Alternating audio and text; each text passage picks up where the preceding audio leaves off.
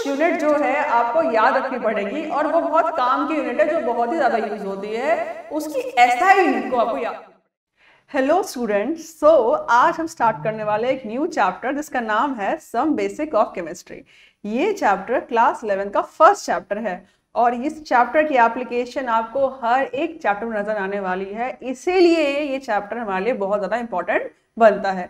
तो चलो स्टार्ट करते हैं। सम बेसिक ऑफ़ केमिस्ट्री और पढ़ते हैं इसका फ़र्स्ट टॉपिक इसको हम बोलेंगे मैटर सो मैटर क्या होता है? तो डेफिनेशन क्या बोलती है बच्चों मैटर की date anything which occupy space and has mass is called matter जैसे कि मैं I am occupying some space I have some mass that means I am matter और क्या एग्ज़ाम्पल है मैटर की तो आपको जो भी चीज़ अपने आसपास दिख रही है, सब मैटर ही होंगी ज़्यादातर. जैसे कि chair table fan laptop pen जो भी आपको दिख रहा है बेटा, वो सब कुछ मैटर ही है। तो लिखते डेफिनेशन मैटर की और लिखते फटाफट एग्ज़ाम्पल इसके। Anything yes that occupy space and has mass is called matter ठीक है? एग्ज़ाम्पल एग्ज़ाम्पल में लिख लीजिए अपने आप से जैसे कि चेयर लिख लीजिए, जैसे कि टेबल लिख लीजिए पेन लिख लीजिए, है ना? बोर्ड लिख लीजिए, जो लिखना है आपको, आप लिख सकते हैं। Air even air is also a matter ठीक है? तो मैटर को हम क्लासिफाई करेंगे दो टर्म में। पहला है प्योर और दूसरा है मिक्सचर मिक्सचर को आप चाहो तो इम्प्योर भी बोल सकते हो। मिक्सचर को मैं इम्प्योर भी बोल सकती हूँ। प्योर क्या है? तो अगर मान लीजिए आपके पास सिर्फ़ शुगर है, चीनी है या सिर्फ़ पानी है तो अगर हमारे पास ओनली शुगर है या ओनली वाटर है distil water we can say तो वो क्या है? वो प्योर होगा। लेकिन अगर मैं उसी पानी के अंदर चीनी को शुगर को मिक्स कर दूँ तो क्या बोलेंगे? उसको हम मिक्सचर बोलेंगे। तो मिक्सचर में सिंपली बता रहा है कि अगर आपने कोई चीज़ मिक्स कर दी है, दो चीज़ें मिक्स कर दी है, दो या तीन या चार एन नंबर ऑफ़ थिंग्स तो उसको आप मिक्सचर बोलोगे। अब प्योर सब्सटेंस जो होता है, वो क्लासिफाई किया है दो टर्म्स में। पहला है एलिमेंट और दूसरा है कंपाउंड एलिमेंट क्या होता है बेटा? तो एक सिंपल सा सेंटेंस बोलेंगे और एलिमेंट की डेफिनेशन क्लियर हो जाएगी। क्या है? एलिमेंट क्या है? Made up of only one kind of atom जैसे कि अगर मैं बात करूँ हाइड्रोजन तो बेटा हाइड्रोजन गैस जो है, इसमें दो एटम है हाइड्रोजन के, पर है तो हाइड्रोजन ही। है तो एटम हाइड्रोजन का ही that's why hydrogen gas is also an element मैं आपसे पूछूँ ओजोन ओजोन बताइए क्या ये एलिमेंट है? तो O3 है, तीन एटम है, पर तीनों ऑक्सीजन के ही है made up only one type of atom that's why O3 भी क्या है आपका? एलिमेंट ही कहलाएगा। तो बताइए बच्चे, सब बच्चे की P4 क्या होगा? जी हाँ बिल्कुल सही P4 जो है P4 भी एलिमेंट है कि चार एटम है, पर चारों ही फॉस्फोरस के तो फटाफट लिखिए, मेरे साथ। Made up of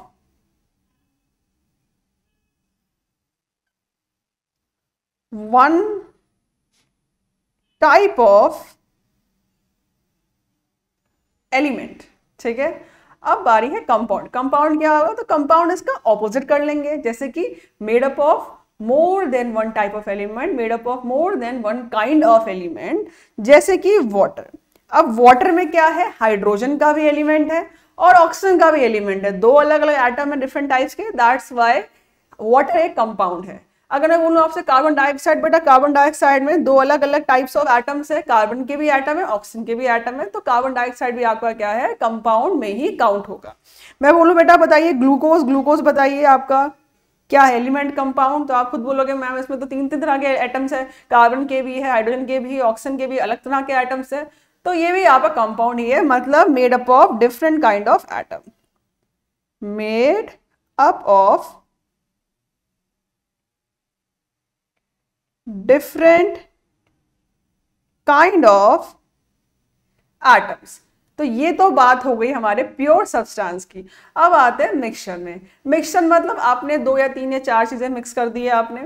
मिक्सचर दो तरह के होते हैं होमोजीनियस मिक्सचर और heterogeneous mixture what is homogeneous mixture तो what is homogeneous mixture homo का मतलब है यूनिफॉर्म तो जिस मिक्सचर में जो कॉम्पोजिशन हो, बेटा, वो यूनिफॉर्म हो, पूरा बराबर सेम हो, जैसे शुगर और वाटर अगर आपने शुगर को वाटर में मिक्स किया है तो जितना मीठा आपकी फ़र्स्ट स्टेप है, उतनी ही मीठी आपकी लास्ट स्टेप होगी।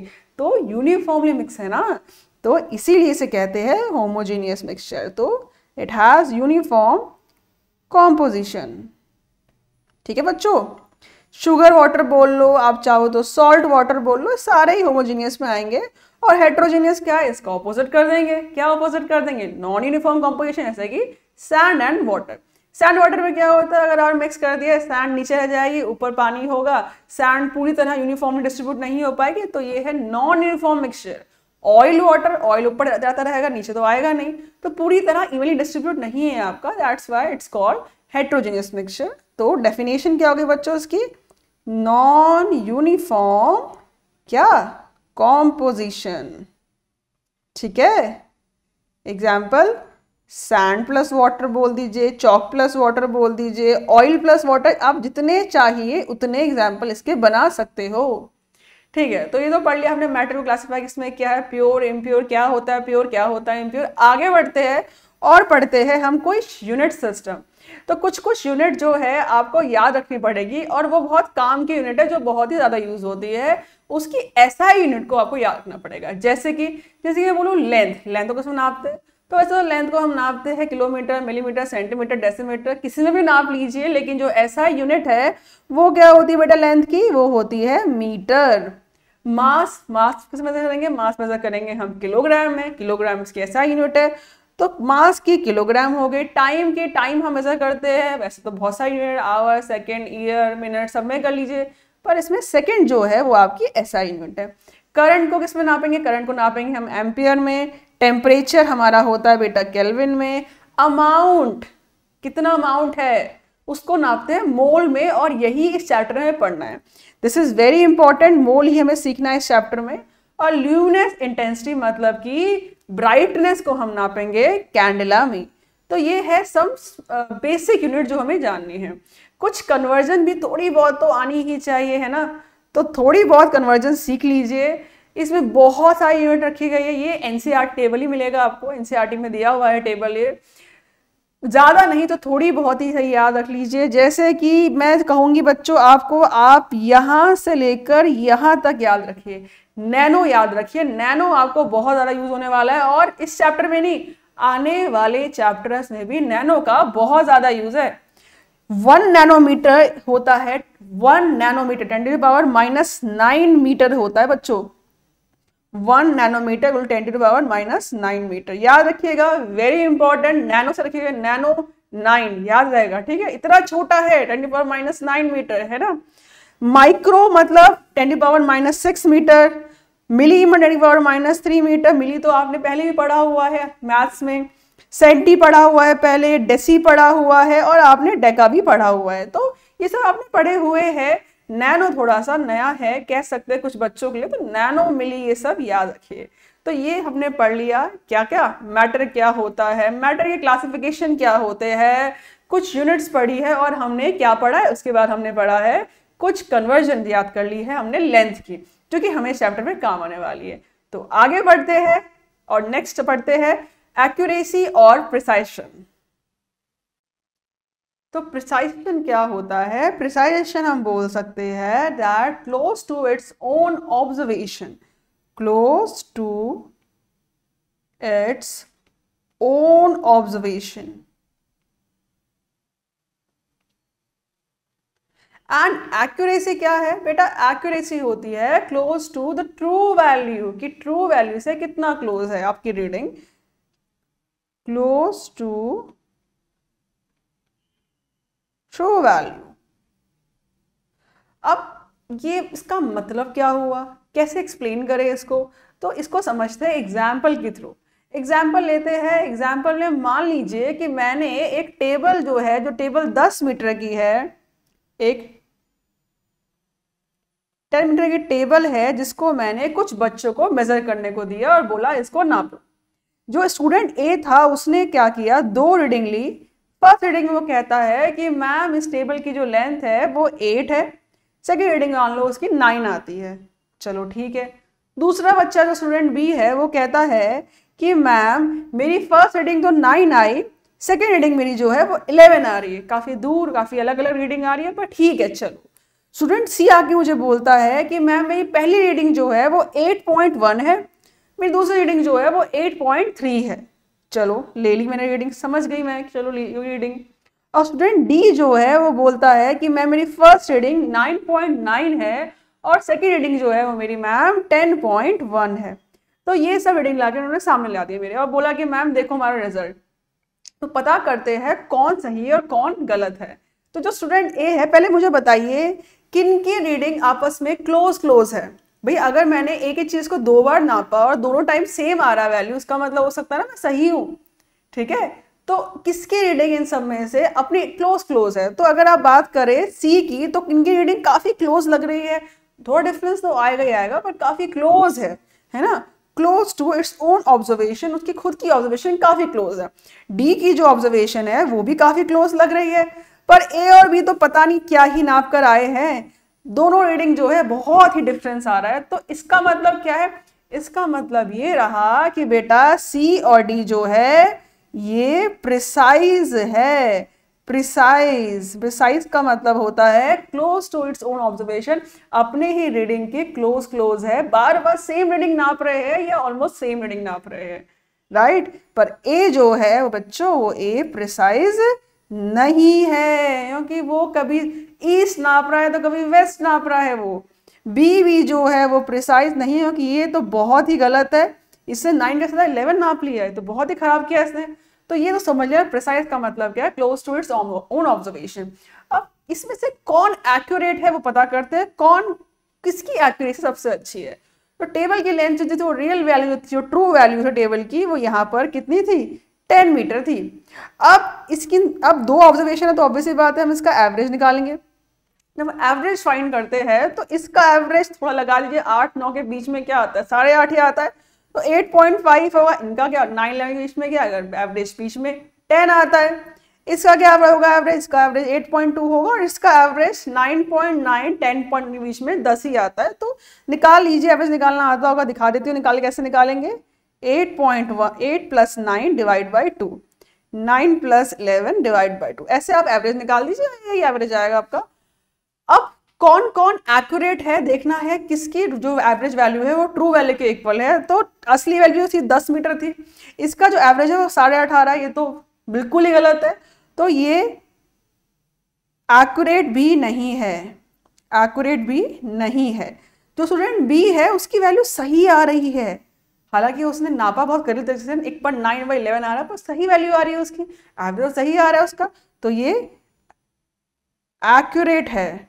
स्टूडेंट बी एक्यूरेट है। स्टूडेंट सी जो है आपका, बेटा ये आपका इसकी जो वैल्यू आ रही है एट पॉइंट टू है, जो दस से बहुत दूर है रियल वैल्यू के तो ये भी एक्यूरेट ये भी एक्यूरेट आपका नहीं है। और स्टूडेंट डी जो है तो सही आ रही है वैल्यू तो ये आपका एक्यूरेट है। ठीक है ना?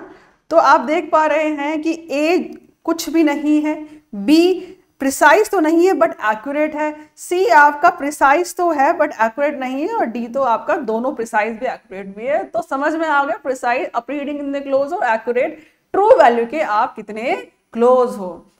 आगे बढ़ते हैं नेक्स्ट टॉपिक में तो नेक्स्ट टॉपिक जो है, वो एक्चुअली डाल्टन एटॉमिक थ्योरी है, लेकिन डाल्टन अभी नहीं पढ़ना है। क्यों? क्योंकि डाल्टन की थ्योरी कुछ लॉज में बेस है।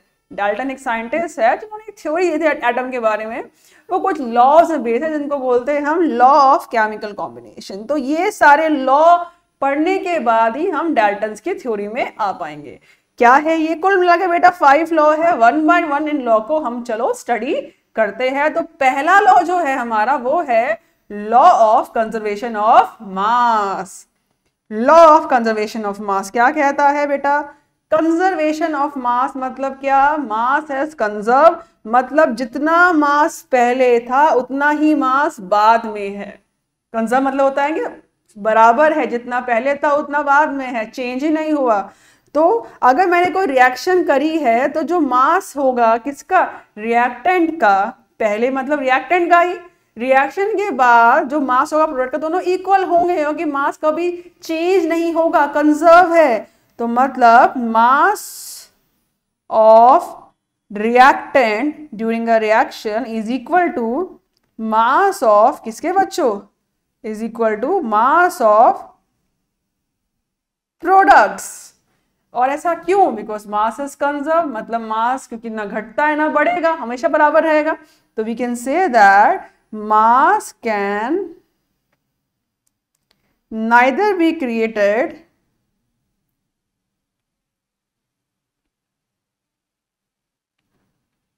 nor be destroyed मतलब ना तो मास कभी घटेगा और ना ही मास कभी बढ़ेगा। मास हमेशा सेम रहेगा। रिएक्टेंट का मास, प्रोडक्ट के मास इक्वल रहेगा। तो मान लीजिए एग्ज़ाम्पल समझते हैं कि मान लीजिए मैंने ए और बी को मिलाकर सी बनाया है और मान लीजिए कि ए का जो है थ्री ग्राम मास है। चलो एक काम करो, इसको एक कोई एलिमेंट कंपाउंड लेके समझ लो, मान लीजिए कार्बन प्लस ऑक्सीजन से मैंने बनाया है सी कार्बन मान लीजिए थ्री ग्राम है, ऑक्सीजन मान लीजिए आपने एट ग्राम लिया है तो बच्चों बताइए कितना बनेगा CO two now every one can every one can answer with this question बहुत सिंपल है रिएक्टेंट कितना है? इनका मास प्रोडक्ट के इक्वल होगा एट प्लस थ्री कितना होता है? इलेवन होता है तो बेटा प्रोडक्ट का मास भी आपका इलेवन ग्राम हो गया। तो ये है लॉ कंजर्वेशन मास बहुत ही सिंपल लॉ है।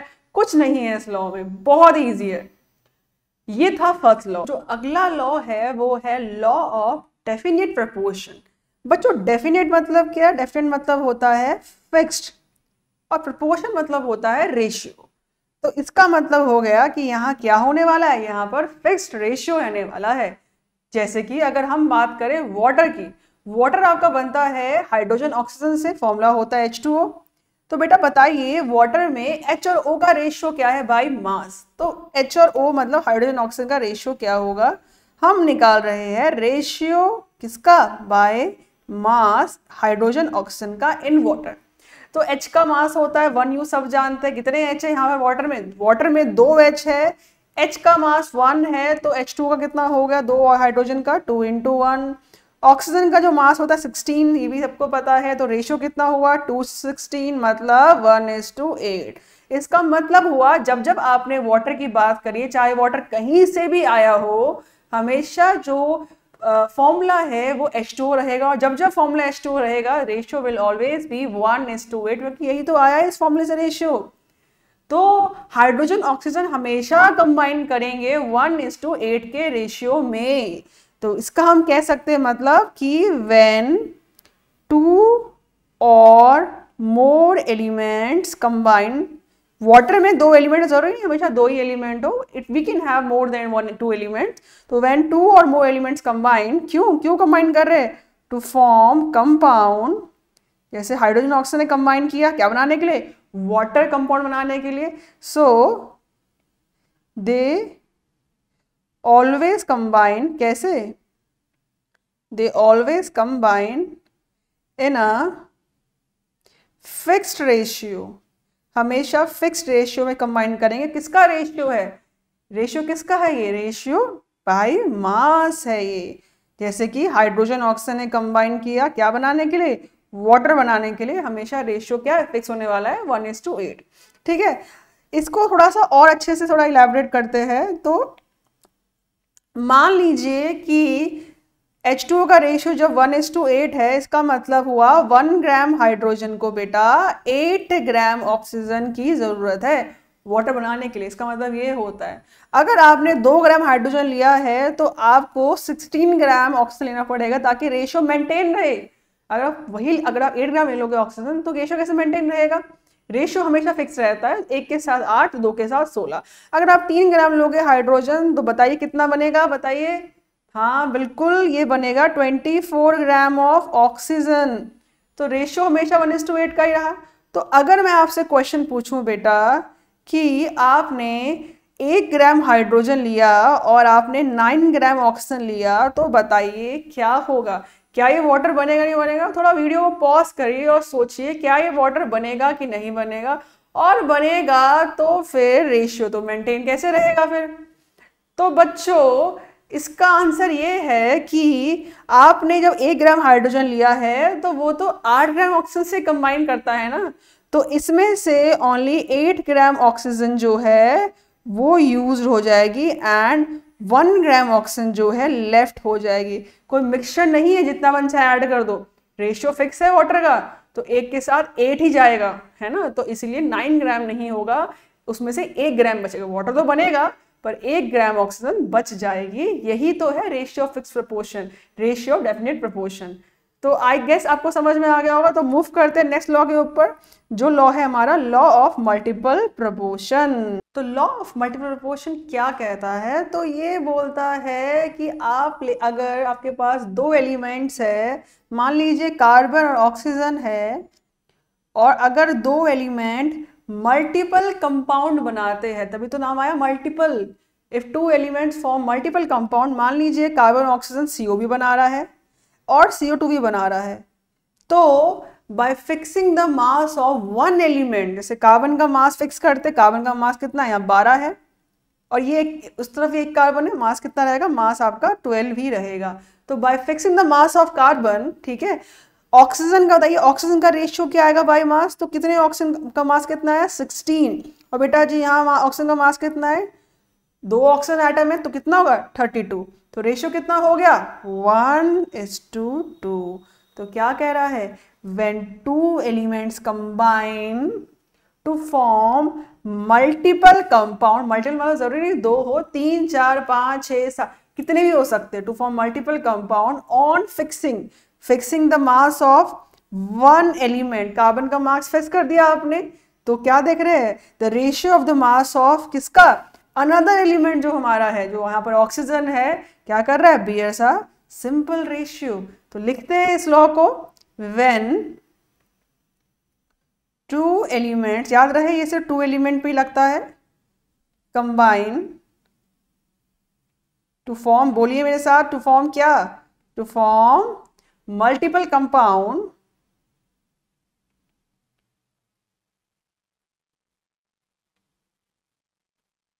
so so, क्या ऑन फिक्सिंग क्या फिक्स करें बच्चों हम? On fixing the mass of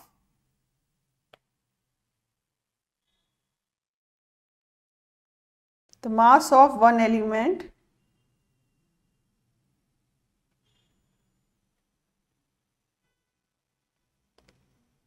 the mass of another element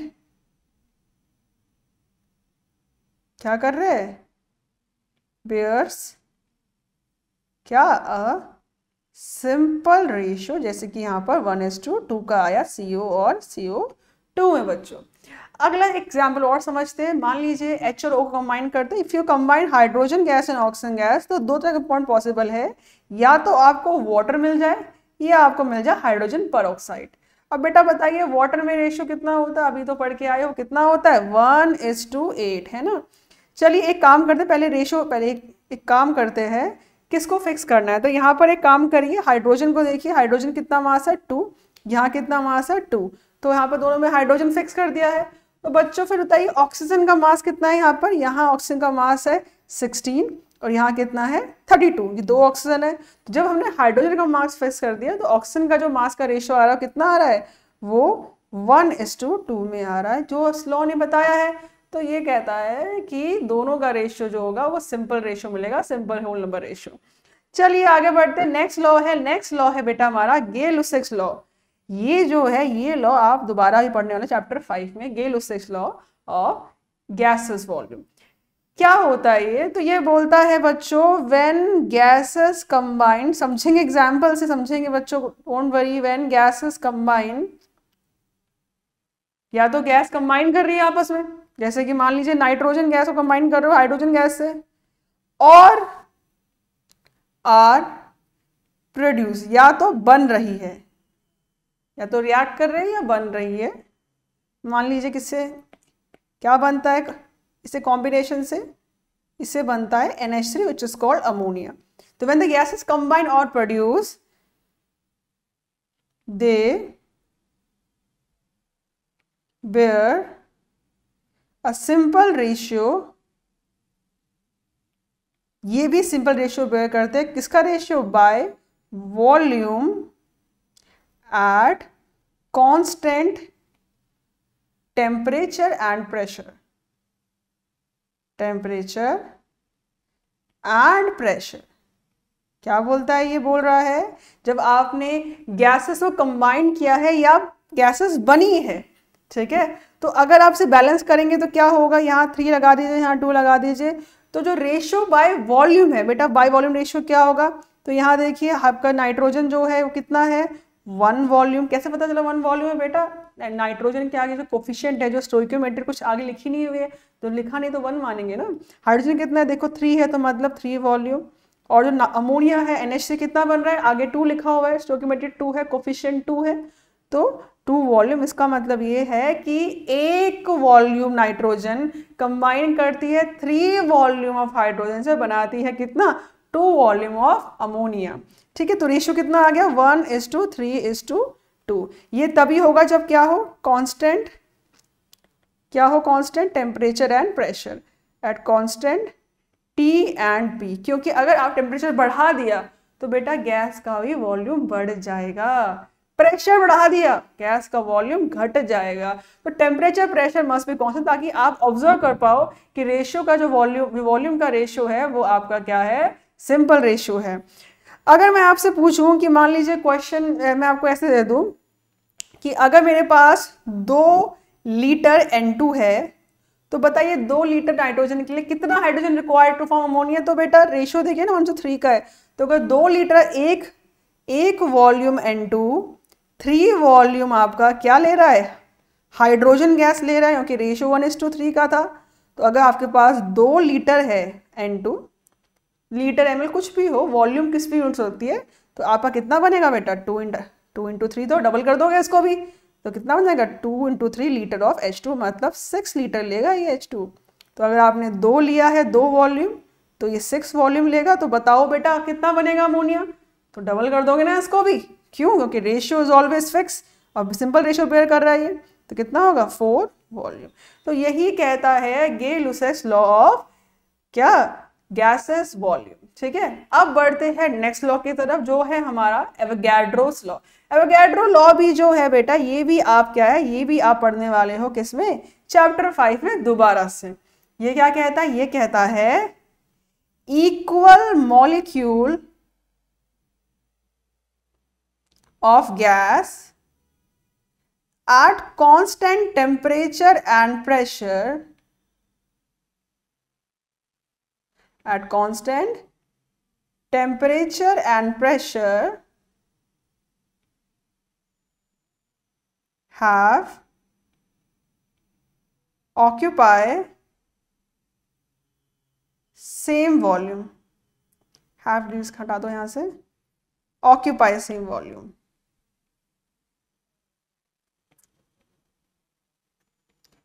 इसका मतलब क्या हुआ? इसका मतलब क्या है कि अगर आपने, मान लीजिए, दो गैस ली है, दोनों गैस अलग अलग है। यहाँ पर एक कंटेनर है, यहाँ पर एक कंटेनर है। यहाँ मान लीजिए आपने लिया है आप हाइड्रोजन गैस, यहाँ लिए ऑक्सीजन गैस, दोनों के मॉलिक्यूल बराबर लिए। इरिस्पेक्टिव ऑफ़ द गैस, कोई भी है, डिफरेंट हो, सेम हो, डजेंट मैटर। अगर दोनों के मॉलिक्यूल बराबर है बराबर है, मान लीजिए, इसमें आपने ले लिए आपके 200 मॉलिक्यूल 200 मॉलिक्यूल्स ले लिए और ऑक्सीजन के भी आपने 200 मॉलिक्यूल ले लिए और दोनों का टेम्परेचर और प्रेशर बराबर होना चाहिए। कांस्टेंट टी एन पी को टेम्परेचर प्रेशर, अगर आपने हाइड्रोजन को नापा है, लो टेम्परेचर, ऑक्सीजन नापा है, हाई टेम्परेचर तो बेटा गैस तो एक्सपेंड करेंगे ना फिर ऑक्सीजन वाली। तो टेम्परेचर प्रेशर दोनों को सेम होना चाहिए। तो अगर इन दोनों के मॉलिक्यूल सेम है तो बेटा इन दोनों की वॉल्यूम भी क्या होगी? वॉल्यूम भी सेम होगी। कितनी होगी वो आगे? जानेंगे मोल कॉन्सेप्ट में, पर दोनों की वॉल्यूम सेम है, क्योंकि अगर मॉलिक्यूल सेम है तो वॉल्यूम भी सेम है, चाहे वो कोई भी गैस हो। अगर आप नाइट्रोजन और अमोनिया कंपेयर कर रहे हैं, तब भी ऐसा होगा। कोई भी दो गैसेस ले रहे हैं, पर ध्यान रहे, ये लॉ सिर्फ़ गैस के लिए है। तो यही, इसी के साथ खत्म होते हैं हमारे सारे लॉ पहला, दूसरा, तीसरा, चौथा, पांचवा, पाँच लॉ पढ़ लिए हैं। नेक्स्ट मूव करते हैं हम। इस लॉ का यूज़ करके जो थ्योरी आई, वो थी हमारी डाल्टन टॉमिक थ्योरी तो स्टार्ट करते हैं प्यारे बच्चों डाल्टन टॉमिक थ्योरी पर उससे पहले क्वेश्चन देख लेते हैं। ये क्वेश्चन है। ठीक है, अब आपको बताना है कि ये क्वेश्चन किस लॉ का है। ये क्या बोल रहा है? ये बोल रहा है फॉस्फोरस जो है जब कंबाइन करता है ऑक्सीजन से तो दो ऑक्साइड बना रहा है। एक बना रहा है पी टू ओ थ्री एक बना रहा है पी टू ओ फाइव तो टू एलिमेंट्स कंपाउंड कर रहे हैं और ये दो कंपाउंड बना रहे हैं। दो कंपाउंड बना रहे हैं। एक नहीं, दो। ठीक है? तो बताइए कौन सा लॉ आपका can be prove by the weight of P and O P और ओ का जब मास लोगे तो कौन सा लॉ आप मुझसे प्रूव कर सकते हो? कौन सा लॉ फॉलो कर रहा है ये? Two elements combine forming two compound या थ्री या फोर फाइव कौन सा लॉ है? कौन सा लॉ है? वीडियो पॉज करिए और सोचिए कौन सा लॉ है। हम्म। तो समझ में आया कौन सा लॉ है? तो इस लॉ जो यहाँ यूज़ होने वाला है, ये है लॉ ऑफ़ मल्टीपल प्रपोर्शन बच्चों, क्यों? क्योंकि मल्टीपल याद रखो। जब कंपाउंड दो, तीन, चार, पाँच छः मल्टीपल बने, दो element combine to form multiple compound वहीं पर जब हमेशा लगेगा मल्टीपल लॉ ठीक है? जैसे मान लीजिए क्वेश्चन ऐसा आ गया कि एक्स और ओ को कंबाइन कर दिया। और आपका एक्सो टू भी बन रहा है एक्स टू ओ भी बन रहा है X O X two O three बन रहा है आपका एक्स टू ओ फाइव भी बन रहा है तो बताइए कौन सा लॉ लग रहा है? तो बेटा यहाँ भी वही लग रहा होगा। कौन सा law law of multiple proportion क्यों बच्चों? क्योंकि मल्टीपल कंपाउंड बन रहे हैं। जब जब दो एलिमेंट मल्टीपल कंपाउंड बनाएँगे, तब तक यही लॉ लगेगा। ठीक है? क्वेश्चन समझ में आया? तो चलते, आगे बढ़ते हैं towards the next theory which is called Dalton atomic theory क्या बोलती है थ्योरी तो डाल्टन की थ्योरी ने सारे लॉ का यूज़ करके अपने कुछ पॉस्टुलेट्स दिए। क्या दिए बच्चों? पॉस्टुलेट्स दिए। कुछ बातें बताई उन्होंने कि ऐसा ऐसा ऐसा ऐसा होता है। क्या बोला? इन्होंने पहली बात तो बताई जो कि हम बचपन से पढ़ते आ रहे हैं। क्या बोला इन्होंने? कि matter is made up of किससे बनता है? सब बोलते रहो मेरे साथ। Matter is made up of smallest particle बच्चों क्या बोलते हैं उन पार्टिकल्स को? इसे हम बोलते हैं एटम एटम वर्ड कहा था ना? एटम वर्ड बोला था। एटम वर्ड वैसे बोला तो ग्रीक वर्ड से आया है, लेकिन डाल्टन ने फिर इस बात को लिखा थ्योरी ऑफ़ ने कि सबसे छोटा पार्टिकल जो मैटर का होता है वो एटम होता है। फिर उन्हें बोला डैट एटम इज़ क्या? एटम इज़ इंडिविजुअल डिवाइड नहीं होगा, क्यों नहीं होगा, सब जानते हैं। सबसे स्मॉलेस्ट अगर यही है तो क्या डिवाइड करके, क्या डिवाइड कर लोगे इसको? तो इट इंडिविजुअल एंड क्या बच्चों? इनडिस्ट्रक्टेबल इसको आप डिस्ट्रॉय नहीं कर सकते। क्यों? क्योंकि एटम कभी डिस्ट्रॉय नहीं होता है। जितना एटम आपने लिया है रिएक्शन से पहले रिएक्शन के बाद भी बच्चों उतने ही एटम्स होते हैं। ठीक है? तीसरा तीसरा बोलता है, अगर एटम सेम एलिमेंट्स के हैं atoms of same elements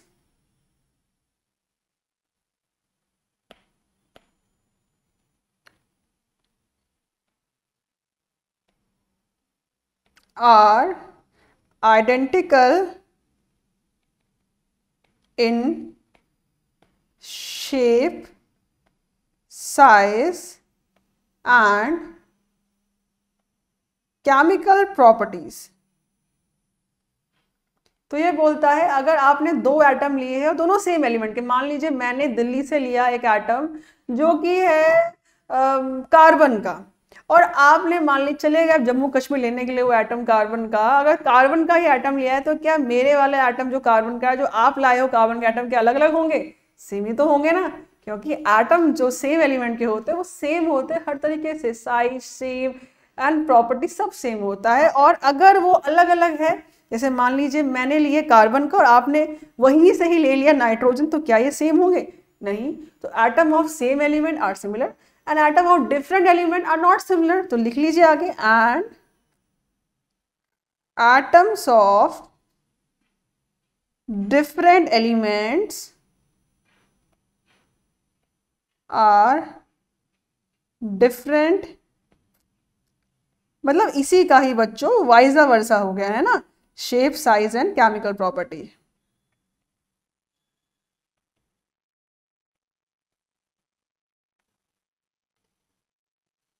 next क्या है? नेक्स्ट बोलता है ये कि एटम्स कंबाइन जब एटम कंबाइन करते हैं, क्यों कर रहे हैं कंबाइन ऐसे ही करेंगे क्या? तो कंपाउंड बनाना होगा उनको, है ना? तो जब एटम कंबाइन करते हैं to form compound they always combine a fix proportion by mass in a fix ratio by mass ये है हमारा fourth postulate atoms combine to form compound always कैसे? बोलो, कैसे? इन अ प्रपोर्शन किसका प्रपोर्शन किसका प्रपोर्शन मास का proportion भाई मास का प्रपोर्शन और किसका प्रपोर्शन होगा? By mass. अच्छा मुझे, मेरा एक क्वेश्चन है आपसे। आपको इस चार पोस्टुलेट में अभी तक कोई लॉ नज़र आता है? हम्म क्या आपको इन चार पोस्टुलेट में कोई लॉ नज़र आता है? तो मुझे तो नज़र आता है, मुझे बताइए बेटा, इस इस चार पोस्टुलेट में law of conservation of mass कहीं दिख रहा है? गेस करिए, सोचिए, दिमाग लगाइए, कहाँ पर है? तो बिल्कुल सही सोच रहे हैं आप। सेकेंड जो पॉस्टुलेट है, वही है law of conservation of mass क्यों? क्योंकि जब एटम ही डिस्ट्रॉय नहीं होंगे तो बेटा मास कैसे चेंज हो जाएगा फिर? जब एटम कभी घटते बढ़ते ही नहीं है, और मास तो एटम के एटम से ही है। किसी का मास क्यों है? ओके एटम का ही मास है वो। तो जब एटम ही घटेंगे, बढ़ेंगे नहीं तो क्या मास घटेगा, बढ़ेगा? कभी नहीं। तो यही है law of conservation of mass उस लॉ से डाल्टन ने थ्योरी दी अपनी, कि एटम कभी खत्म ही नहीं होते, ना कभी बढ़ते हैं, क्योंकि मास हमेशा सेम रहता है, इसी वजह से। वरना डाल्टन ने कौन से देखे एटम कि भाई सेम है कि नहीं हो रहे सेम डाल्टन ने तो लगाया ना अंदाज़ा कि जब मास कंजर्व है तो एटम भी कम कंजर्व होंगे, ठीक है? और बताइए, कुछ और लॉ नज़र आ रहा है इसमें? कोई और कहीं कुछ लॉ देखा होगा? बताइए। सोचिए सोचिए बच्चों, सोचिए। तो यहाँ पर आ जाइए और देखिए बेटा, ये ये बताइए, ये कौन सा लॉ है? तो बच्चों, ये है लॉ बिल्कुल सही लॉ ऑफ़ डेफिनेट क्या? प्रोपोर्शन देखो भाई, उसने तो वही कहा था टू एटम्स कंबाइंड टू और more atoms combined to form compound fix proportion by mass ये भी तो वही कह रहा है, कुछ अलग कह रहा है। तो डेल्टन ने वही लॉ की जो बातें थी यहाँ पर लिख दी। तो जो हमारा नेक्स्ट टॉपिक है, वो है रिलेटिव एटॉमिक मास बेटा रिलेटिव एटॉमिक मास या एटॉमिक वेट बोल लीजिए, ये क्या होता है? तो इसको रिलेटिव का मतलब होता है कंपैरेटिव मतलब कंपैरिजन करके निकाला हुआ मास इस समझते एग्ज़ाम्पल से मान लीजिए, एक टेस्ट हुआ, जिस टेस्ट में तीन बच्चों ने पार्टिसिपेट किया, राम ने पार्टिसिपेट किया, श्याम ने पार्टिसिपेट किया और रोहन ने पार्टिसिपेट किया. राम के, मान लीजिए, राम ने अच्छा काम नहीं किया, राम के दस मार्क्स आ गए बेटा मान लीजिए शाम के ट्वेंटी है और रोहन के मार्क्स जो है थर्टी मार्क्स आ गए। तो मुझे बताइए मगर शाम से पूछती हूँ कि शाम तुम्हारे कितने मार्क्स है? तो बोलेगा, मैम, मेरे शाम से दुगने टू टाइम्स है। पूछती रोहन से, रोहन तुम्हारे कितने हैं? रोहन बोलेगा कि, मैम, मेरे राम से थ्री टाइम्स है। तो ये टू टाइम थ्री टाइम क्या है? क्या है रोहन के, क्या है शाम के एक्चुअल मार्क्स है ये? नो ये है उनके रिलेटिव मार्क्स रिलेटिव मार्क्स जो रिलेट करे मैंने राम से। और ये वाले थे उनके एक्चुअल माँ। तो समझ में आ गया होगा आपको मतलब कि रिलेटिव का मतलब क्या होता है। तो कुछ वैसे करने वाले, कैसे निकाले रिलेटिव मार्क्स हमने? हमने रा, शाम के मार्क्स रखे। शाम के मार्क्स और डिवाइड किससे किया हमने? डिवाइड किया राम के मार्क्स से। तो रिलेटिव मार्क्स निकालने के लिए जिसके भी मार्क्स निकाल रहे हो, उसके मार्क्स ऊपर और नीचे जिससे कंपेयर कर रहे हो, उसके मार्क्स नीचे। तो वही अगर मैं आपसे पूछूँ कि बच्चों, बताओ कि रिलेटिव एटॉमिक मास आप कैसे फाइंड करोगे? रिलेटिव एटॉमिक मास अगर मुझे निकालना है, किसी एलिमेंट का, मान लीजिए ओ का निकालना है, कैसे निकालते? क्या फॉर्मूला होता है इसका? तो जिसके मास निकालना है, उसका ऊपर एक्चुअल मास रखेंगे तो that means mass of one atom of oxygen कौन सा मास एक्चुअल मास जो होता है, जो कि बहुत ही कम होगा। और डिवाइड में क्या करेंगे? डिवाइड रहेंगे मास जिससे हम कंपेयर कर रहे थे। किससे कंपेयर कर रहे हैं? राम से कंपेयर कर रहे हैं?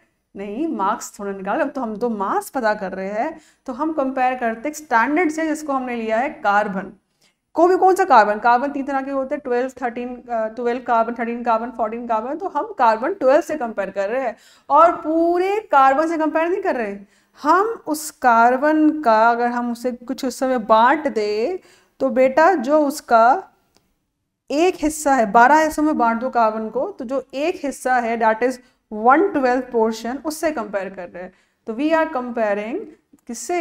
वन एटम ऑफ़ किसका? One twelfth of carbon twelve तो हम कंपेयर कर रहे हैं मास ऑफ़ वन एटम किससे वन एटम किसका? वन ट्वेल्थ, पूरे कार्बन से कंपैरिजन नहीं हो रहा बच्चों। वन ट्वेल्थ से कंपैरिजन हो रहा है किसके? कार्बन ट्वेल्थ वाला कार्बन जिसका मास ट्वेल्व है। This is the atomic mass formula next है एटॉमिक मास यूनिट इसी को ही बोला है हमने A M U A M U होता है तो ए एम यू क्या है? A M U one A M U की वैल्यू रखिए याद वन ए एम यू होता है one point six six into ten to the power minus twenty four gram बेटा, ये है actual value one A M U की अगर मैं बोलती हूँ ऑक्सीजन का mass sixteen A M U है तो रियल मास कितना है ऑक्सीजन ग्राम में? रियल मास जो होगा बेटा sixteen into one point six ten to power minus twenty four gram इतना होता है ग्राम में ऑक्सीजन का मास जो कि बहुत कम है। इतनी कम वैल्यू को बोलना और याद रखना बहुत मुश्किल है। इसीलिए एम यू यूज़ करा है जो कि इजी वे में 16 बोल लो 16 याद रखो इजी है अगर मैं पूरा मल्टीप्लायर याद रखूँगी वैल्यू तो it is very complicated form मी इसीलिए हम ग्राम नर्सर के एक एटम का मास ए में याद रखते हैं, ठीक है? अगर मैं बोलूँ, बच्चों नाइट्रोजन का मास कितना नाइट्रोजन का मास होता है फोर्टीन ए फोर्टीन ए तो एक्चुअल मास क्या हो ग्राम में? ये ए एम यू का मास है ग्राम का मास नहीं है। नाइट्रोजन का एक एटम का मास कभी भी फोर्टीन ग्राम नहीं होगा फोर्टीन ए एम यू होगा। ग्राम में इसका मास होगा इतना। ठीक है तो ये डिफरेंस है एएमयू और ग्राम में। ये एक एटम का मास है, एक एटम का। एक एटम का मास हमने एएमयू में फाइंड किया एएमयू में। ग्राम में इतना आएगा जो कि बहुत कम है, इसलिए हम एम यूज़ करते हैं। आगे मूव करते हैं तो बेटा हम जब एटॉमिक मास की बात करते हैं तो हम दो तरीके से नापते हैं। कभी कभी हम ए एम यू यूज़ कर लेते हैं। आजकल तो यू यूज़ कर रहे हैं नॉट ए एम यू हम यू यूज़ करते हैं। और कभी कभी हम ग्राम यूज़ करते हैं। तो कहाँ पर ए एम यूज़ करते हैं और कहाँ पर ग्राम यूज़ करते हैं? ए एम यू हम करेंगे, जब हम बात करेंगे एक एटम की, एक एटम की बात करेंगे, तब हम ए एम यू यूज़ करेंगे। और जब हम एक मोल की बात करेंगे, एक मोल मोल क्या होता है बताऊँगी अभी आपको मोल का मतलब। पर मोल एक क्वांटिटी है और जब हम एक मोल की बात करेंगे, तब हम ग्राम का यूज़ करेंगे। जैसे कि अगर मैं बोलूँ कि ऑक्सीजन का मास अगर बोलूँ 16 यू है, इसका मतलब ये मार्क्स है वन एटम ऑफ़ ऑक्सीजन अगर मैं बोलूँ 16 ग्राम है तो ये क्या हो गया? ये हो गया वन मोल ऑफ़ ऑक्सीजन का मास। देखो बेटा डिफरेंस सिक्सटीन ग्राम एक एटम का नहीं मास है। सिक्सटीन ग्राम एक मोल का होता है। ग्राम में लिखा हो तो मोल का होगा एम यू यू में लिखा हो तो एक एटम का होता है, या एक मॉलिक्यूल का होता है। अगर मैं, चलो आपसे पूछती हूँ, मुझे बताइए, अगर मैं बोलूँ कि भाई हाइड्रोजन का मास, एक हाइड्रोजन का mass one A M U या वन यू है तो ये वन ए एम यू किस कितने हाइड्रोजन एटम का मास है? ये एक एटम का मास है। वन एटम ऑफ़ हाइड्रोजन और मैं लिखूँ वन ग्राम है तो ये किसका मास होगा? ये वन मोल ऑफ़ हाइड्रोजन का होगा। तो ये डिफरेंस है ए और ग्राम में। ए एक एटम के लिए है और ग्राम जो है वो वन मोल के लिए होता है। इसके साथ बेटा याद रखिए कभी कभी हम इस ग्राम को कभी कभी क्या, हमेशा ही इस ग्राम वाले मास को हम जानते हैं ग्राम एटॉमिक मास से। हम ग्राम एटॉमिक मास भी कहते हैं। ग्राम एटॉमिक मास का ही मतलब होता है कि जो मास ग्राम में होता है मतलब वो एक मोल का मास है। तो जी एम बोलेंगे, ग्राम अटोमिक मास तो ये जो है, ग्राम अटोमिक मास अगर मैं पूछूँ आपसे नाइट्रोजन का तो बेटा कितना होगा? तो आप बोलोगे, मैम 14 ग्राम है। क्योंकि एक मोल का मास है ना। तो पूछो, बेटा, ग्राम अटोमिक मास बताइए, कितना होगा आपका मान लीजिए कार्बन का? तो आप बोलोगे, मैम 12 ग्राम है। तो ग्राम एटॉमिक मास जो था, एक मोल का होता है वो ग्राम में होता है यही डिफरेंस है। अगर ये एटम की बारी है तो हम ग्राम एटॉमिक मास कुछ करेंगे हैं, लेकिन अगर मॉलिक्यूल की बात कर रहे हैं तो मॉलिक्यूल में सेम होता है एम यू होता है और ग्राम होता है। एम यू फॉर किसके लिए होगा? वन मॉलिक्यूल के लिए होगा। और ग्राम जो होगा बच्चों वन मोल के लिए होगा। जैसे कि अगर मैं बोलूँ CO2 का जो मास है, वो आपका 44 क्या है यू है? ये फोर्टी फोर यू क्या है? फोर्टी फोर यू है आपका वन मॉलिक्यूल का मास लेकिन अगर मैं बोलूँ फोर्टी फोर ग्राम है तो ये मास किसका है? ये मास होगा आपका वन मोल का मास ठीक है? तो अगर यू में है ए एम यू में है तो ऑब्वियसली बात है, आप यूज़ करोगे आपका ये, आपका एक एक मॉलिक्यूल एक एटम का होगा, लेकिन अगर ये ग्राम में होगा तो ये आपका वन मोल का होता है. ठीक है तो याद रखिए जैसे वो ग्राम टॉमिक मास था, इसे हम बोलते हैं ग्राम मॉलिकुलर मास ग्राम मॉलिकुलर मास बेटा ग्राम मॉलिकुलर मास ग्राम में होता है। मैं से अगर आपसे पूछूँ आप लोगों से कि बच्चों, मुझे बताइए कि ऑक्सीजन गैस वो मॉलिक्यूल ही तो है O2 का O2 का, बताइए ग्राम मॉलिकुलर मास कितना है? तो आप बोलोगे क्या? आप बोलोगे, ma'am thirty two thirty two जैसे ओ का सिक्सटीन होता है तो ओ टू का थर्टी टू ही होगा। थर्टी टू क्या है? यू बोलोगे ग्राम बोलोगे? बताओ। तो मैंने पूछा ग्राम मोलिकुलर मास मतलब मैंने पूछा, एक मोल का ग्राम ग्राम मोलिकुलर मास ग्राम में तो होता है?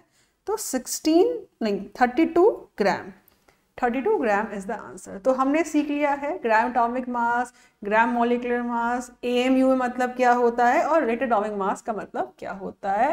And one M U equal to कितना होता है? ग्राम में आगे पढ़ेंगे हम mole concept which is very very important तो चलिए स्टार्ट करते हैं मोल कॉन्सेप्ट तो हमारा जो नेक्स्ट टॉपिक है, वो है मोल कॉन्सेप्ट जो कि बहुत इंपॉर्टेंट टॉपिक है। इसको समझते हैं और इसमें बेस्ड कुछ क्वेश्चंस करते हैं। तो मोल कॉन्सेप्ट में क्या है? तो मोल से पहले समझते हैं डजन सबको पता डजन का मतलब क्या होता है? कि मैं बोलूँ बच्चों कि बताइए one dozen equal to how much आप बोलोगे, ma'am one dozen equal to twelve अगर मैं बोलूँ आपसे, बेटा, कि वन डजन पेन में कितने पेन्स होते हैं? तो आप बोलोगे, मैम ट्वेल्व पेन्स होते हैं। है ना? अगर मैं बोलूँ आपके पास टू टू डजन पेन्स है तो कितने हो गए? Twenty four pen. तो डजन वर्ड बनाया क्यों है? सिंपल करने बनाया है। ट्वेंटी फोर पेन बोलने से अच्छा दो डजन, तीन डजन, चार डजन, ये बोल दो। वैसे ही डजन का मतलब से बारह होता है तो मोल का मतलब होता है बच्चों six point zero two two into ten power twenty three एक मोल में इतनी क्वांटिटी होती है। मोल एक क्वांटिटी है और एक मोल के अंदर इतनी क्वांटिटी कितनी क्वांटिटी इतनी। इस नंबर को हम एवगैड्रोस नंबर भी बोलते हैं, ए वी है ना? एवगैड्रोस नंबर ही बोलते हैं, सिंबल यूज़ करते एन कैपिटल, और ए भी कैपिटल, पर ए होगा आपका सब्सक्रिप्ट में। तो एक मोल में एवगैड्रोस नंबर क्वांटिटी होती है मतलब इतनी क्वांटिटी होती है। तो अगर मैं आपसे बोलूँ कि मेरे पास एक मोल पेन है तो कितने पेन हो गए मेरे पास? तो बच्चों, मेरे पास तो बहुत सारे पेन हो गए। इतने सारे पेन हो गए। लेकिन अब क्वेश्चन ये है, इतने सारे पेन कौन खरीदेगा? आप तो नहीं खरीदोगे, मैं भी नहीं खरीदूँगी, हमारी जी भी नहीं खरीदेंगे सारे पेन तो। तो इतने सारे पेन ये मोल का कहाँ यूज़ करोगे? मोल तो बहुत बड़े नंबर है ये तो। तो इतने सारी चीज़ें आप कहाँ यूज़ करोगे? डजन तो यूज़ करते हो पर मोल कहाँ यूज़ करोगे? तो मोल वहाँ यूज़ होगा, जहाँ पर चीज़ें बहुत ज़्यादा है। कितनी ज़्यादा, इतनी ज़्यादा, इतनी बड़ी चीज़, इतनी सारी चीज़ें कहाँ मिलेगी आपको चीज़ें? बहुत छोटी छोटी होगी, क्योंकि वही होती है मिलियंस ट्रिलियंस में। और वो कौन होंगे? वो होंगे एटम्स और मॉलिक्यूल तो जो मोल वर्ड है, ये वर्ड एटम मॉलिक्यूल्स के लिए आयंस के लिए यूज़ किया जाता है, क्योंकि वो बहुत छोटे होते हैं तो बहुत ज़्यादा क्वांटिटी में होते हैं। तो इसीलिए मोल का मतलब होता है एवगैड्रोस नंबर के इक्वल और मोल जो है हमारा, ये यूज़ करते हैं हम स्मॉल क्वांटिटी स्मॉल थिंग्स जो कि बहुत ही माइक्रोस्कोपिक होती है एटम मॉलिक्यूल्स और आयन में। अब इसमें से क्वेश्चन कैसे आएँगे? तो बेटा, सारे क्वेश्चन का एक ही तरीका करने का वो है यूनिटरी मेथड ठीक है? अब मैं करूँगी, आपको मैं एक लिखती हूँ, एक एक फॉर्मूला लिखती हूँ। वो एक फॉर्मूला है, एक ब्रह्मास्त्र है, जो हर जगह जाके अप्लाई कर दीजिएगा आंसर आ जाएगा। बस एक चीज़ याद रखनी है। वो फॉर्मूला क्या है, वो रिलेशन क्या है, वो देखिए रिलेशन ये है, बस इसे हमेशा याद रखिए दैट बच्चों one mole is equal to what G A M what is G M G M मतलब ग्राम एटॉमिक मास या फिर gram molecular mass G M M equal to बेटा क्या? Equal to six point zero two two ten power twenty three या तो ये atoms होंगे इतने, या इतने मॉलिक्यूल्स होंगे। मतलब बताएँगे, रुक जाइए थोड़ा सा वेट करिए। और equal to twenty two point four litre ये क्या है? ये वॉल्यूम है। ये वॉल्यूम है एट वॉट एट एसटीपी बेटा एसटीपी क्या होता है? एस का मतलब होता है स्टैंडर्ड टेम्परेचर एंड प्रेशर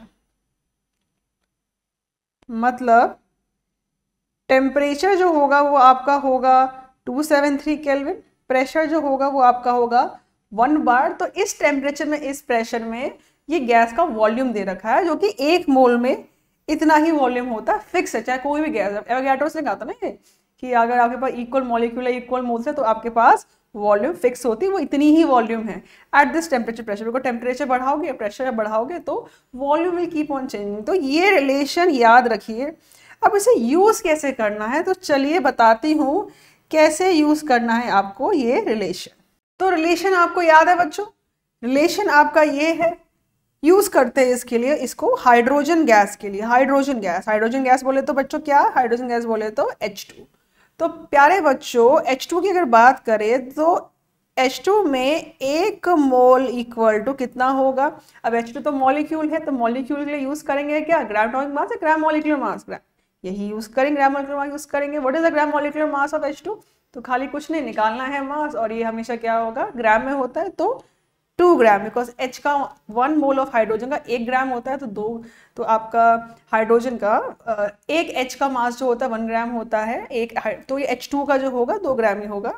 और इक्वल टू आपका क्या? इक्वल टू इतने नंबर्स ये नंबर इक्वल ये नंबर क्या है? एटम मॉलिक्यूल है।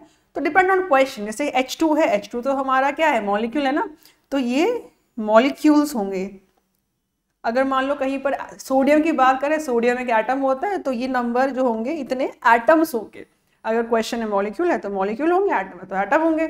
और इक्वल टू क्या? 22.4 litre at what S T P stand temperature and pressure ये रिलेशन मैंने लिख लिया। अगर मैं वही बात करूँ, बेटा बताइए O2 के लिए क्या होगा? तो बताइए O2 के रिलेशन क्या लिखेंगे? सब लिखिए मेरे साथ।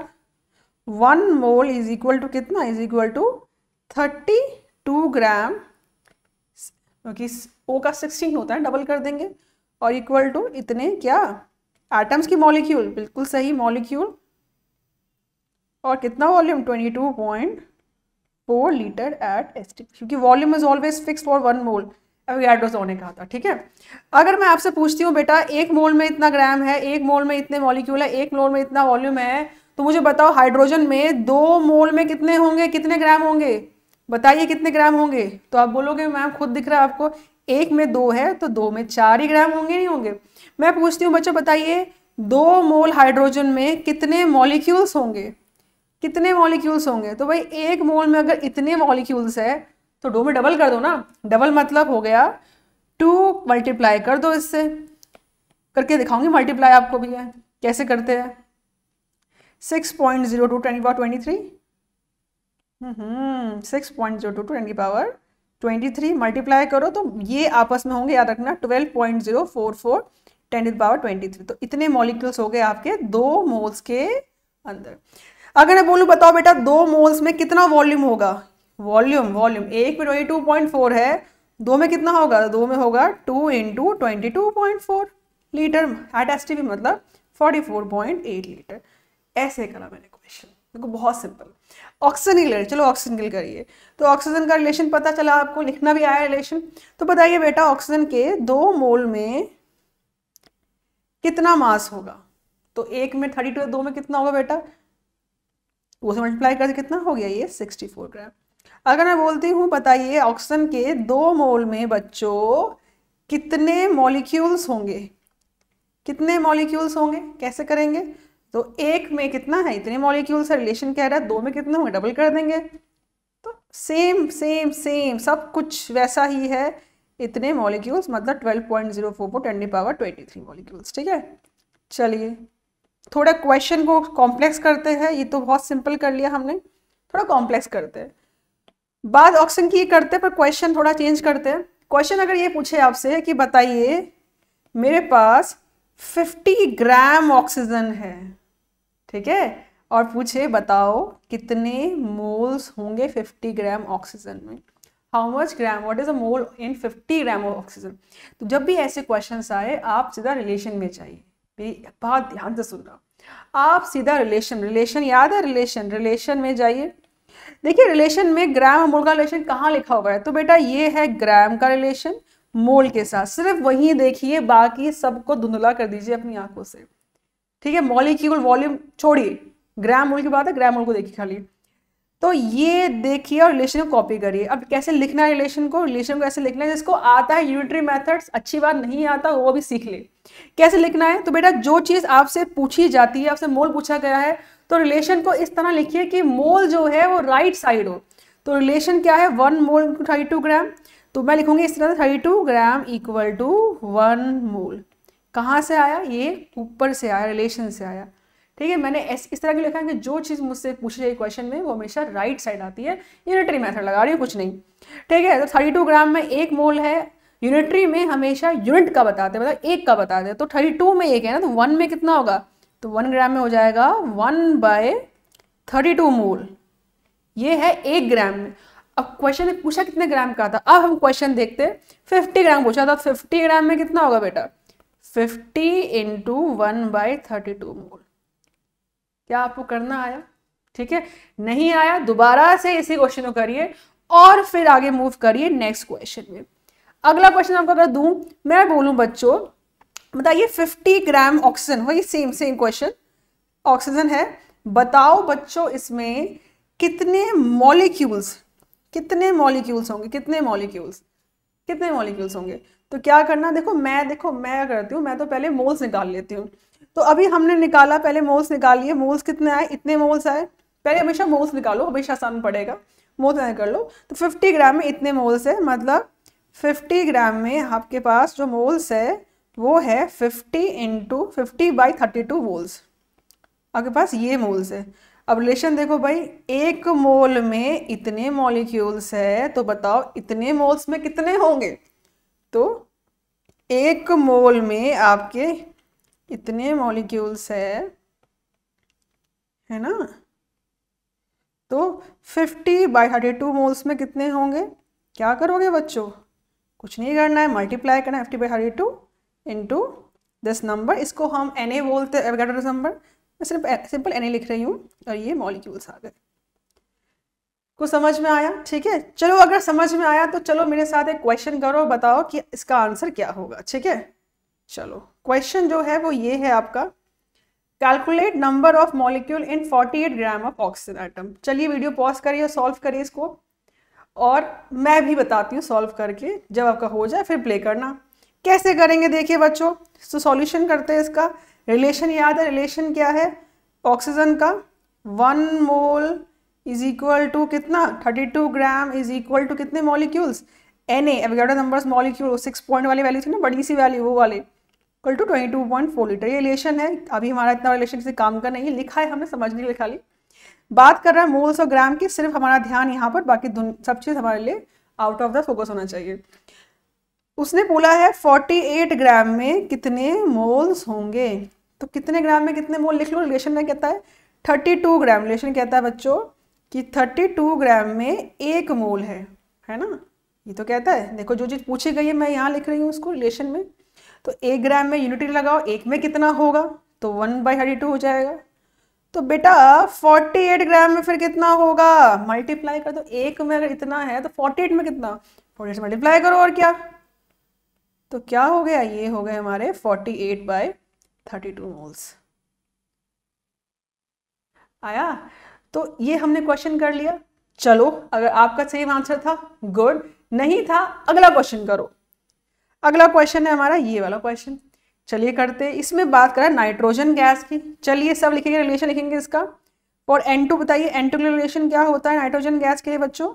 वन मोल इज़ इक्वल कितना gram equal to twenty eight gram और इक्वल टू कितने मॉलिक्यूल्स इक्वल टू अब मॉलिक्यूल्स क्यों? क्योंकि एन टू बोला है, इसलिए मॉलिक्यूल यहीं पर अगर होता सोडियम, सिर्फ़ एनए होता तो एटम्स होते। एन टू तो मॉलिक्यूल है ना तो इसलिए मॉलिक्यूल लिखेंगे। तो मॉलिक्यूल्स मॉलिक्यूल्स ठीक है? Equal twenty two point four litre कब? At H T P H T P क्या है बोलो? हम्म बिल्कुल सही। चलिए भाई तो मोल्स निकालने हैं। मोल्स निकालने हैं और मास दिया हुआ है तो रिलेशन को अरेंज करिए। तो मोल्स और मास की बात करा, बाकी सब हो जाएगा आउट ऑफ़ फोकस हमारे लिए। बाकी सब भूल जाइए, यहाँ देखिए। तो 28 ग्राम में एक मोल होता है, थोड़ा सा लेफ़्ट साइड कर लेते हैं इसको। 28 ग्राम में एक मोल है बेटा किसका? N2 का। तो यूनिटरी लगाइए, एक में कितना होगा? One by twenty eight mole होगा। कितना ग्राम दिया हुआ है? फिफ्टी सिक्स ग्राम दिया हुआ है भाई हमें। तो कितना हो गया? Fifty six into one by twenty eight moles of N two answer क्या हो गया? Fifty six by twenty eight moles. तो मोल्स तो हमारे हाथ में आ गए, चलो बहुत अच्छी बात है। अब पूछा है वॉल्यूम क्या वॉल्यूम कर सकते हैं? तो भाई मोल्स आपके हाथ में आ गया, सब कुछ आपके हाथ में आ गया। मोल्स मिल गया ना? तो बस क्या, एक मोल में इतना वॉल्यूम होता है ना? इतना वॉल्यूम होता है। कितने मोल्स दिए हुए हमें? कितने दिए? फिफ्टी बाय कितने? Fifty six by twenty eight तो ये था ए पार्ट बी पार्ट कर लीजिए।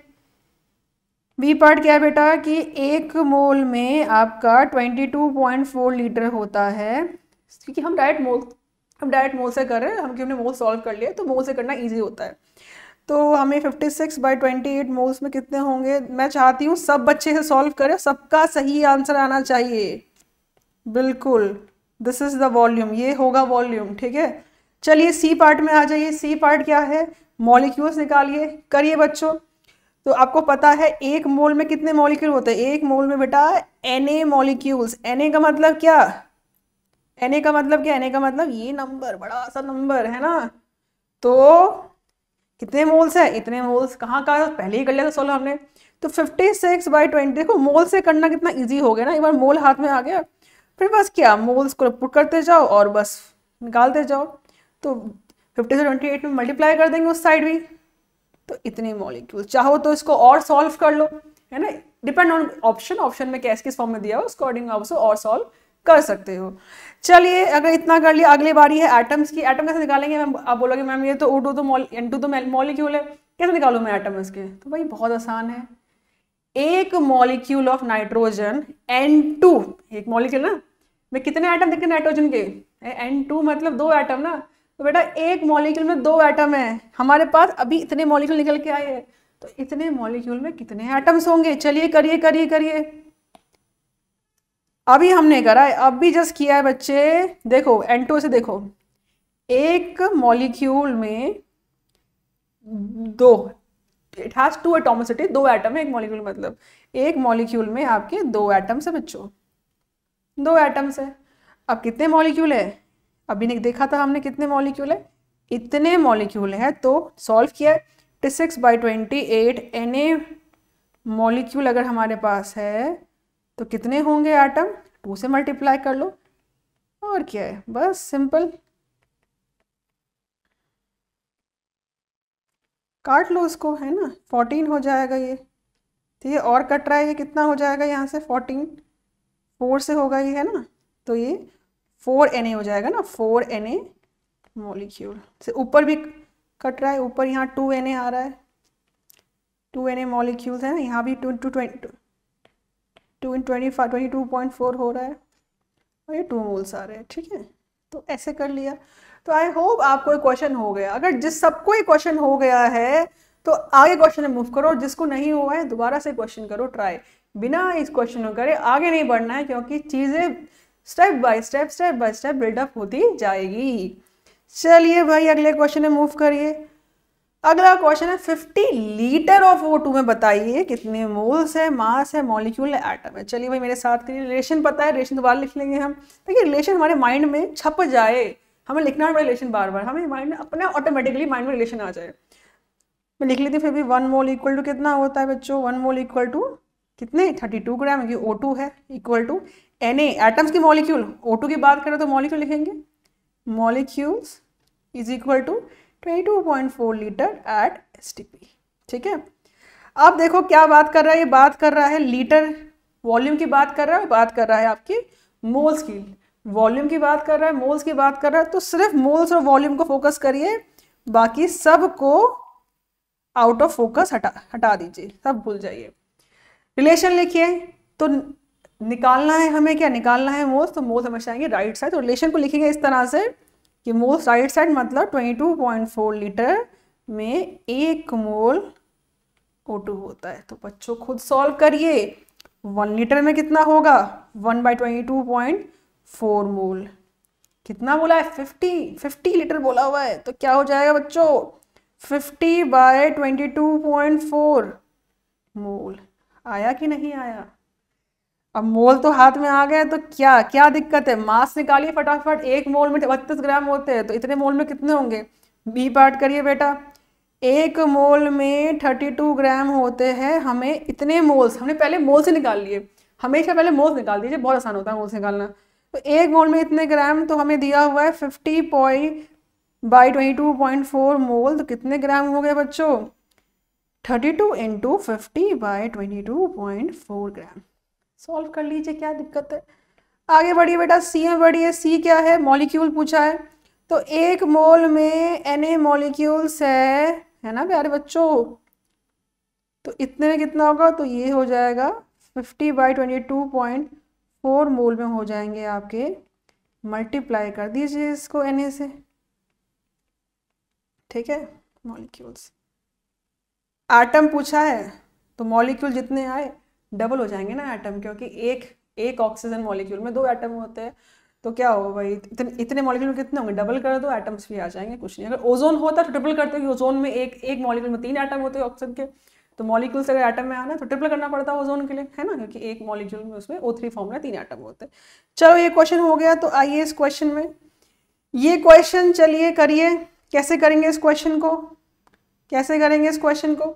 तो बच्चों क्वेश्चन है कार्बोनेट आयन दिया हुआ है तीन ग्राम आयंस निकालने हैं आयन है तो आयन निकालोगे मॉलिक्यूल है तो मॉलिक्यूल निकालोगे एटम है तो एटम निकालोगे तो निकाल लो आयंस। तो बच्चों रिलेशन लिखिए इसका। वन मोल में कितने आयंस होंगे? कितने कितने वन मोल में कितना ग्राम होगा ये आयंस का? तो कार्बोनेट का निकालिए मास कितना चाहिए? ग्राम आ, ग्राम मास बोलिए ग्राम आयनिक मास बोल लो कितना भी। Twelve plus three into sixteen कितना हो गया ये? ट्वेल्व प्लस फोर्टी एट बोले तो सिक्सटी ग्राम तो सिक्सटी ग्राम हो गया. इक्वल टू कितने? एन ए आयंस होंगे, क्योंकि यहाँ पर आयन की बात हो रही है इक्वल टू वॉल्यूम नहीं रख सकते, क्योंकि ये वॉल्यूम जो होता है, सिर्फ़ गैस के लिए होता है ये गैस नहीं है आयन है तो वॉल्यूम की बात नहीं करेंगे यहाँ पर, ठीक है? वॉल्यूम की बात नहीं करेंगे. बिल्कुल नहीं करेंगे वॉल्यूम की बात. तो तीन ग्राम में पूछ रहा है कि पहला पार्ट है कितने आयन्स हैं? तो बेटा ग्राम बोल रहा है और आयन पूछ रहा है तो बेटा सिक्सटी ग्राम में रिलेशन लिखिए। एन ए आयन जो पूछा हुआ है, उसको लिखा है right side N A ions तो वन में कितना होगा? N A by sixty ions तो प्यारे बच्चों, तीन ग्राम में कितना होगा? तीन ग्राम में हो जाएगा N A by sixty into three ions मतलब क्या? N A by twenty ions cut जाएगा ना ये? चलिए अब पूछ रहा है कितने ऑक्सीजन आइटम होंगे? कितने ऑक्सीजन आइटम तो भाई पहले तो बता लो टोटल कितने कार्बोनेट आयन है? पहले बता करो कितने टोटल आयंस कितने हैं? ठीक है? तो ये टोटल आयंस हो गए एन ए बाई ट्वेंटी तो तीन तीन ग्राम के अंदर इतने आयंस है और एक आयन में कितने ऑक्सीजन आइटम है? एक आयन में तीन ऑक्सीजन आइटम है ना? तो बेटा सेकेंड पार्ट में वन कार्बोनेट आयन में तीन ऑक्सीजन के एटम है। और हमारे पास कितने हैं? कितने कार्बोनेट आयन है इतने। तो N A by twenty ion में कितने होंगे? Three into N A by twenty oxygen atom है ना? तो क्या हो गया? ये सॉल्व कर लेंगे, हमारा आंसर आ जाएगा। अगला बोला टोटल दे टोटल चार्ज क्या होगा? है ना? टोटल चार्ज निकालिए। तो कैसे निकालेंगे टोटल चार्ज बच्चों? कैसे निकालेंगे? तो देखिए एक कार्बोनेट आयन में टू नेगेटिव चार्ज है। वन कार्बोनेट आयन में कितना है? टू नेगेटिव मतलब टू इलेक्ट्रॉन चार्ज है। ई e नेगेटिव की वैल्यू जो होती है फिक्स होती है one point six ten power minus nineteen coulomb ये होता है वन इलेक्ट्रॉन का चार्ज तो एक कार्बोनेट आयन में इतना चार्ज है टू ई चार्ज है ना? टू ई चार्ज है। ई e की वैल्यू इतनी होती है, ठीक है? कितने कार्बोनेट आयन है हमारे पास? हमारे पास N A by twenty carbonate ion है। तो what is what is total charge we have in this N A by twenty carbonate ion तो मल्टीप्लाई टू से कर देंगे, एक में दो है ना तो इतने में कितना होगा? तो उसे मल्टीप्लाई कर देंगे। N A by twenty e charge ठीक है ना? तो कितना हो गया ये? N A by ten e तो ये चार्ज होगा हमारे थ्री ग्राम कार्बोनेट आयन में। तो हमने क्वेश्चन कर लिए। ये है, एक और क्वेश्चन है लास्ट क्वेश्चन है। इसको मैं चाहती हूँ आप खुद से ट्राई करें। और ट्राई करके बताइए answer in the comment box सही आंसर मैं अब मैं मैं पोस्ट कर दूँगी और देखते किन किन बच्चों ने इसको सही आंसर निकाला है, ठीक है? तो हमारा नेक्स्ट टॉपिक है परसेंटेज कॉम्पोजिशन परसेंटेज कॉम्पोजिशन का मतलब क्या है? तो अगर हमारे पास एग्ज़ाम्पल है कैल्शियम कार्बोनेट का तो क्वेश्चन ऐसे होता है कि कैल्शियम कार्बोनेट में हर एक एलिमेंट की कितनी परसेंटेज है इस कंपाउंड के अंदर? मतलब परसेंटेज क्या है? कैल्शियम की परसेंटेज क्या है? कार्बन की परसेंटेज क्या है? ऑक्सीजन की। तो परसेंटेज निकालना है हमें बेटा कैल्शियम की। कैसे फाइंड करेंगे? कैल्शियम का mass divide by in compound के अंदर कंपाउंड है, calcium carbonate what is mass of calcium carbonate find कर लेते हैं। Calcium 40 carbon 12 oxygen 3 into sixteen that will be equal to 40 plus 12 plus 48 तो बेटा 100 आएगा। और इसका तो मास आप याद ही कर लीजिए बिकॉज़ कैल्शियम कार्बोनेट हंड्रेड सबको पता होता है। ठीक है तो बाई हंड्रेड हो जाएगा। और क्योंकि हम निकाल रहे हैं percentage to find the percentage हमें हमेशा मल्टीप्लाई करते हैं हंड्रेड से तो कितना आ गया ये? फोर्टी परसेंट ठीक है? This is the percentage of calcium in calcium calcium carbonate तो हम निकाल रहे हैं परसेंटेज बाय मास ऑफ़ हर एक एलिमेंट की उस कंपाउंड के अंदर। अगर मैं बोलूँ, बताओ कार्बन परसेंटेज क्या होगी? तो बेटा कार्बन क्या होगी? ट्वेल्व कार्बन का mass divide total hundred into hundred कितना हो गया? ट्वेल्व परसेंटेज ठीक है? मैं बोलूँ, बताओ ऑक्सीजन की परसेंटेज क्या है? तो ऑक्सीजन के तीन आइटम है ना? तीनों का मास रखना पड़ेगा। तो एक का होता है सोलह तो three into sixteen divide total mass of compound कितना है? हंड्रेड इंटू हंड्रेड तो ये कितना हो गया? ये हो जाएगा forty eight upon hundred into hundred मतलब बच्चों forty eight percentage this is how we find percentage composition तो हम निकालते हैं percentage composition of water of crystalline in blue vitriol percentage composition किसका? वाटर ऑफ़ क्रिस्टलाइन का। Water of crystalline. In blue vitriol, what is blue vitriol? Copper sulfate pentahydrate को बोलते हैं, ठीक है? वाटर क्रिस्टलाइन कितने पाँच वाटर क्रिस्टलाइन इसका निकालना परसेंटेज कैसे निकालेंगे? टोटल मास क्या होगा कॉपर सल्फेट पेंटाहाइड्रेट का? कॉपर का होता है सिक्सटी फोर तो करते हैं सिक्सटी फोर प्लस सल्फ़र का मास होता है थर्टी टू प्लस ऑक्सीजन का मास कितना होगा? फोर इंटू सिक्सटीन और प्लस वाटर का मास 18 होता है, ये याद ही कर लीजिए तो 5 इंटू एटीन तो 64 प्लस थर्टी प्लस कितना हो जाएगा? 64 प्लस 5 इंटू एटीन सॉल्व करिए, इसका आंसर अप्रॉक्स आएगा 256 यू 250 यू 250 यू आएगा, ठीक है? अब क्या करेंगे? अब हम फाइंड करते हैं तो परसेंटेज कॉम्पोजिशन निकालना है हमें वाटर का। तो वाटर का मास पाँच वाटर के मॉलिक्यूल है तो five into eighteen upon two fifty into hundred तो सॉल्व करेंगे बेटा इसको तो जब हम सॉल्व करेंगे, इसका आंसर अप्रॉक्स आएगा thirty six percent this is how we find the answer ठीक है? तो चलिए समझते हैं मोलर वॉल्यूम मोलर वॉल्यूम का मतलब क्या होता है कि एक मोल गैस एट एसटीपी या एनटीपी में कितना वॉल्यूम ऑक्यूपाई करती है? तो पढ़ा था आपने, अभी जस्ट पढ़ के आए हैं। बताइए बेटा, एक मोल गैस कितना वॉल्यूम ऑक्यूपाई करती है एसटीपी में? 22.4 लीटर यस और नो एसटीपी या फिर and you all know what is STP है ना? एसटीपी जानते हैं मतलब क्या होता है? टेम्परेचर कितना होता है एसटीपी में? 273 seventy three calorie that mean zero degree Celsius और प्रेशर होता है आपका वन बार ठीक है? एनटीपी का मतलब होता है नॉर्मल टेम्परेचर प्रेशर जिसमें टेम्परेचर होता है सेम टू सेवन थ्री और प्रेशर जो होगा, वो होगा वन एटी पर दोनों में जो गैस होती है गैस हमारी जो होती है इट ऑक्यूपाई कितना volume gas occupy twenty two point four litre volume ठीक है बच्चों? तो एक मोल गैस हमेशा इतना ही वॉल्यूम ऑक्यूपाई करती है S T P and N T P if you change temperature और प्रेशर तो ऑब्वियसली बात है volume will keep on changing पर एक मोल का at this temperature pressure fix है वॉल्यूम ठीक है? एवोगैड्रोस होने कहा था टेम्परेचर प्रेशर अगर फिक्स करो तो मोल अगर फिक्स है तो वॉल्यूम फिक्स ही होता है। कितना होता है इतना होता है इसे कहते हैं मोलर वॉल्यूम एक मोल की वॉल्यूम आगे बढ़ते हैं नेक्स्ट टॉपिक है एम्पेरिकल फॉर्मूला एम्पेरिकल फॉर्मूला और मोलिकुलर फॉर्मूला मोलिकुलर फॉर्मूला सभी जानते हैं क्या होता है। एम्पेरिकल फॉर्मूला क्या होता है बच्चों? तो अगर मैं बोलूँ आपसे कि मोलिकुलर फॉर्मूला बताओ कितना होता है हाइड्रोजन पर का तो बोलोगे ma'am H two O two होता है। ग्लूकोज का क्या होता है? बोलोगे हम C six H twelve O six होता है। बताइए, हाइड्रोजिन। हाइड्रोजिन का नहीं पता होगा, चलो कोई बात नहीं बता देती हूँ एन टू एच फोर होता है। तो बेटा, इसका एम्पेरिकल फॉर्मूला क्या होता है? तो कुछ नहीं एम्पेरिकल फॉर्मूला में आपका सिंपलेस्ट रेशियो होता है। रेशियो मतलब सर टू और टू है कॉमन फैक्टर है, बाहर निकालिए कॉमन फैक्टर क्या है? टू है। तो रेशियो कितना आ गया? वन एस टू वन का आ गया। फॉर्मूला क्या बन गया? एच ओ ये टू टू कॉमन हो गया ना तो one two one one two one का रेशियो बना। वैसे ही ग्लूकोज बताइए ग्लूकोज में कॉमन क्या है? ग्लूकोज में कॉमन आ रहा है सिक्स कॉमन बाहर फैक्टर बाहर निकालिए, बचा क्या? सी वन हुआ। एच कितना हुआ? एच टू हुआ। ज़रूरत नहीं है वन लिखने की आपको। सिफर सी लिखिए सी का मतलब ये एक ही कार्बन है।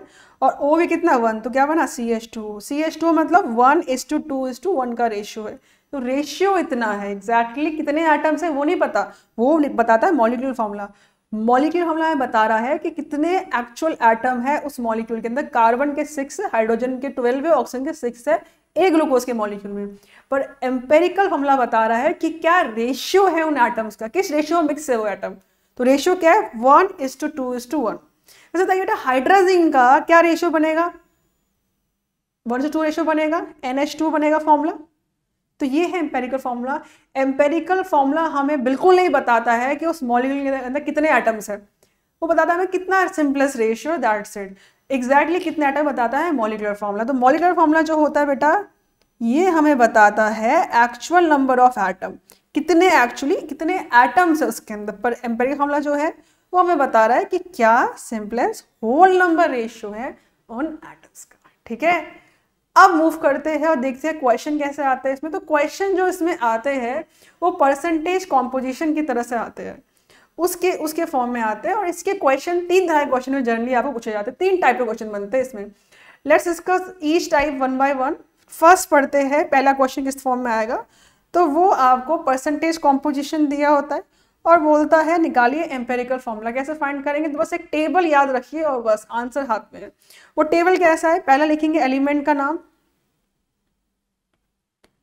फिर लिखेंगे हम परसेंटेज क्या है, फिर लिखेंगे, बेटा, हम क्या एटॉमिक मास होता है?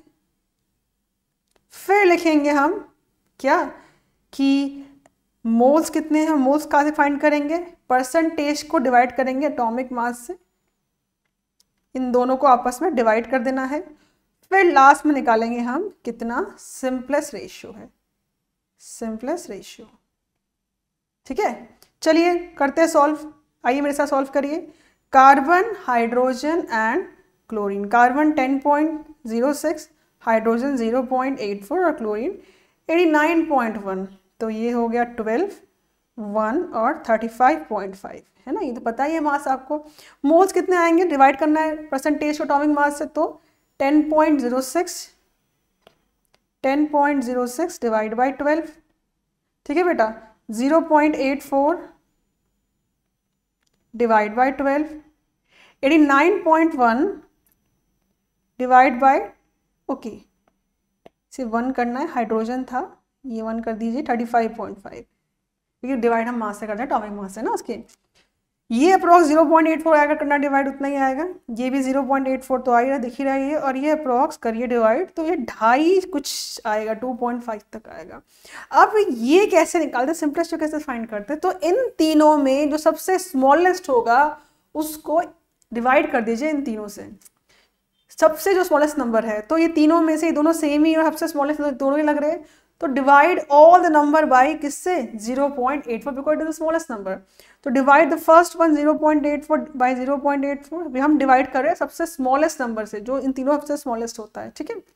ज़ीरो पॉइंट एट फोर बच्चों zero point eight four divide by zero point eight four और two point five divide by zero point eight four ये तो वन ही हो जाएगा सेम वैल्यू है। बेटा ये वन ही हो जाएगा, ये अप्रॉक्स थ्री आएगा। तो कार्बन के एक एटम एच के एक है और क्लोरीन के तीन एटम तो क्या बन गया?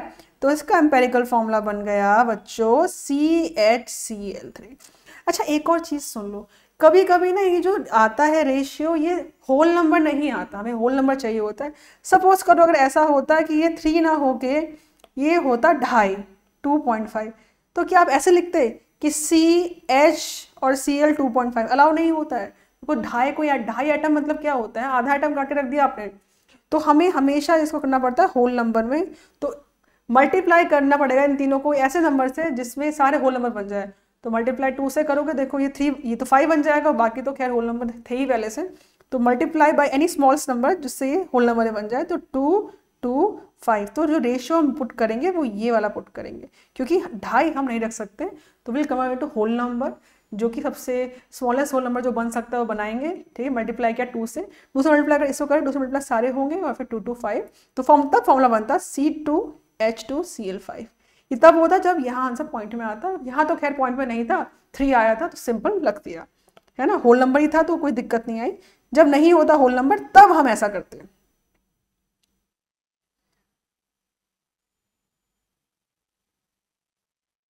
लिख लीजिए फिर से। One one, three. ठीक है, आगे बढ़ते बच्चों। तो अगला क्वेश्चन जो है वो इस टॉपिक से आता है relation between empirical formula and molecular formula ये क्या होता है? तो मेरा एक क्वेश्चन है आपसे, अगर मैं आपसे पूछूँ कि बच्चों बताओ, अगर मेरे पास मॉलिकुलर फॉर्मूला ये है तो बताओ एम्पेरिकल फॉर्मूला क्या होगा? तुम बता दोगे, अभी अभी क्या था? आपने बोलोगे empirical formula common ratio six निकालो बाहर। मैम ये सी एच टू ओ हो जाएगा। चलो, बहुत अच्छी बात है।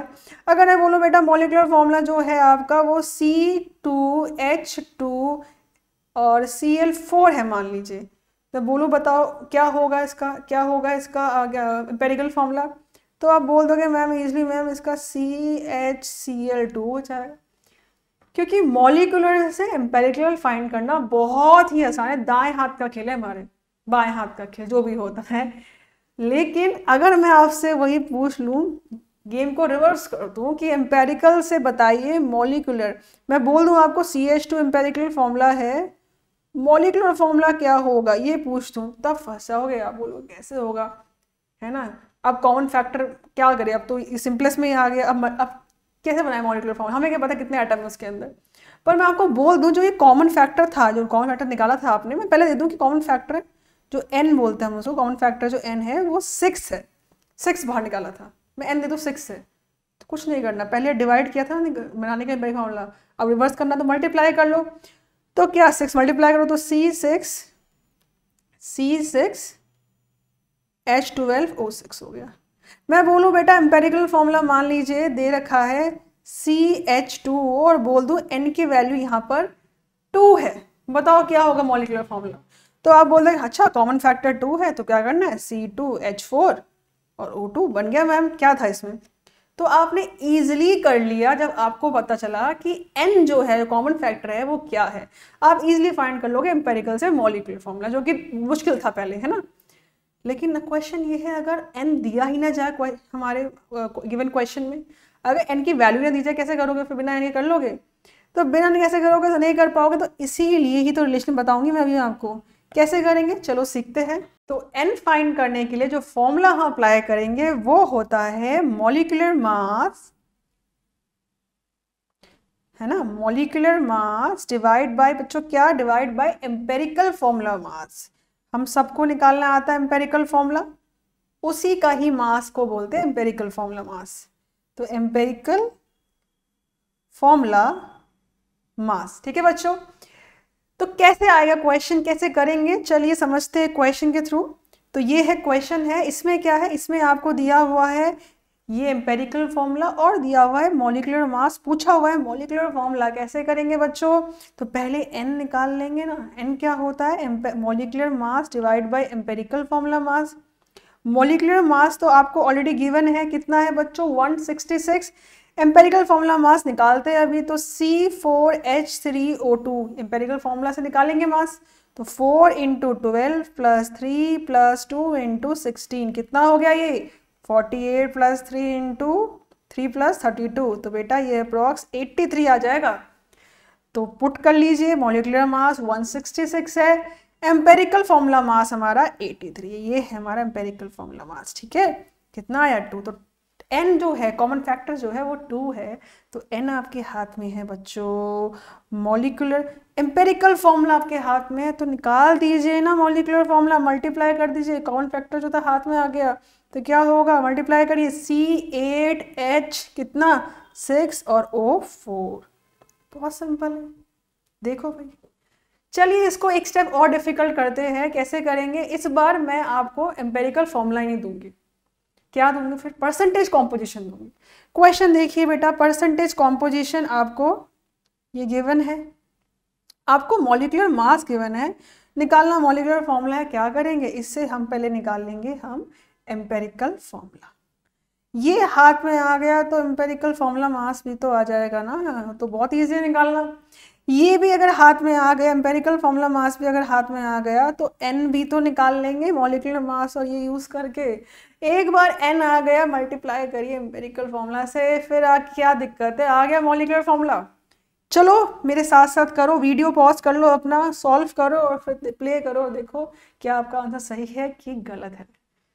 तो एलिमेंट है हमारे यहाँ पर कार्बन और हाइड्रोजन कार्बन हाइड्रोजन बेटा परसेंटेज जो है, वो है 80 और 20 एटॉमिक मास बच्चे जो है हमारा 12 और 1 निकालिए मोल्स मोल्स डिवाइड कर लेंगे। 80 बाय 12 20 बाय 1 ये अराउंड आएगा 6.6 ये आएगा 20 निकालेंगे हम simplest ratio simplest ratio find करेंगे तो ये हो जाएगा। कैसे निकालते हैं? सबसे स्मॉलेस्ट नंबर डिवाइड कर लेंगे उससे। स्मॉलेस्ट कौन सा? This is the smallest number तो 6.6 divide by 6.6 and 20 divide by 6.6 बच्चों, ये तो वन आएगा, ये कितना आएगा? डिवाइड करिए अप्रॉक्स थ्री के कुल आएगा। तो कार्बन का एक एटम है और हाइड्रोजन के तीन एटम है तो क्या बन गया एम्पेरिकल फॉर्मूला ये बन गया सी एच थ्री बेटा, अगर एम्पेरिकल फॉर्मूला आपके पास आ गया है तो फाइंड कर लीजिए ना empirical formula mass empirical formula mass बच्चों, क्या होगा? Twelve plus three into one that will be twelve plus three बच्चों, कितना हो गया? ये फिफ्टीन आ गया। एम्पेरिकल फॉर्मूला मास हाथ में है मोलिकुलर मास हाथ में है एन नहीं फाइंड कर सकते। हाँ एन कितना हो जाएगा? Molecular mass divide by empirical formula mass. हम्म कितना हो जाएगा ये? थर्टी बाय फिफ्टीन मतलब टू। तो कॉमन फैक्टर टू था। तो बताइए बेटा मोलिकुलर फॉर्मूला क्या होगा? मल्टीप्लाई टू कर लीजिए, क्या हो जाएगा? इसको थोड़ा यहाँ लिखते हैं। तो मोलिकुलर फॉर्मूला क्या हो जाएगा? सी एच थ्री को मल्टीप्लाई करिए टू से तो कितना हो गया? सी टू एच सिक्स कौन है ये? ये है इथेन भैया इथेन भैया। ठीक है? चलिए, ये है टाइप टू क्वेश्चन जो आपको मोलिकुलर फॉर्मूला निकालना होता है मोलिकुलर मास देकर टाइप थ्री क्वेश्चन जो है, वो आता है वेपर डेंसिटी से। वेपर डेंसिटी क्या बेटा? वेपर डेंसिटी याद रखिएगा मॉलिकुलर मास है ना? डिवाइड बाय क्या? डिवाइड बाय टू अगर मोलिकुलर मास 40 है वेपर डेंसिटी 20 आएगी। अगर मोलिकुलर मास 60 है वेपर डेंसिटी 30 अगर molecular mass 80 molecular vapour density आधा करिए 40 और क्या? तो क्वेश्चन कैसे आएगा? क्वेश्चन में अब इस बार आपको यहाँ देखिए मोलिकुलर मास ही नहीं देगा। क्या? परसेंटेज दिया है। परसेंटेज दे दिया है आपको। इस परसेंटेज से क्या? परसेंटेज दिया है कार्बन का। इस परसेंटेज से बेटा आपको एम्पेरिकल फॉर्मूला आ जाएगा। आ जाएगा। एम्पेरिकल फॉर्मूला आ गया तो बच्चों एम्पेरिकल फॉर्मूला मास भी आ जाएगा। नहीं आएगा, आ जाएगा। एम्पेरिकल फॉर्मूला मास आ गया, अब एन फाइंड करना एन क्या होता है? Molecular mass divide by empirical formula mass ये तो निकला हुआ है, लेकिन मोलिकुलर मास कहाँ से फाइंड कर? दिया हुआ है मोलिकुलर मास ये क्या दे दिया? रिपोर्ट ऐसे दे दिया। कहाँ है मोलिकुलर मास तो है ही नहीं। तो ऊपर जो फॉर्मूला पड़ा था अप्लाई नहीं कर सकते हो। वेपर डेंसिटी होता है molecular mass divide by two मतलब 88 equal to molecular mass divide by two कितना हो गया बच्चों molecular mass two into eighty eight आ गया ना? पुट करो मोलिकुलर मास यहाँ पर। एन आ गया एन आ गया। तो एम्पेरिकल फॉर्मूला ये है आपके पास। नहीं आ जाएगा मॉलिकुलर फॉर्मूला कर लोगे? बस एक चीज़ ध्यान रखना। क्या ध्यान रखना? कार्बन का परसेंटेज 54.54 है परसेंट हाइड्रोजन का परसेंटेज 9.09 परसेंट है बेटा।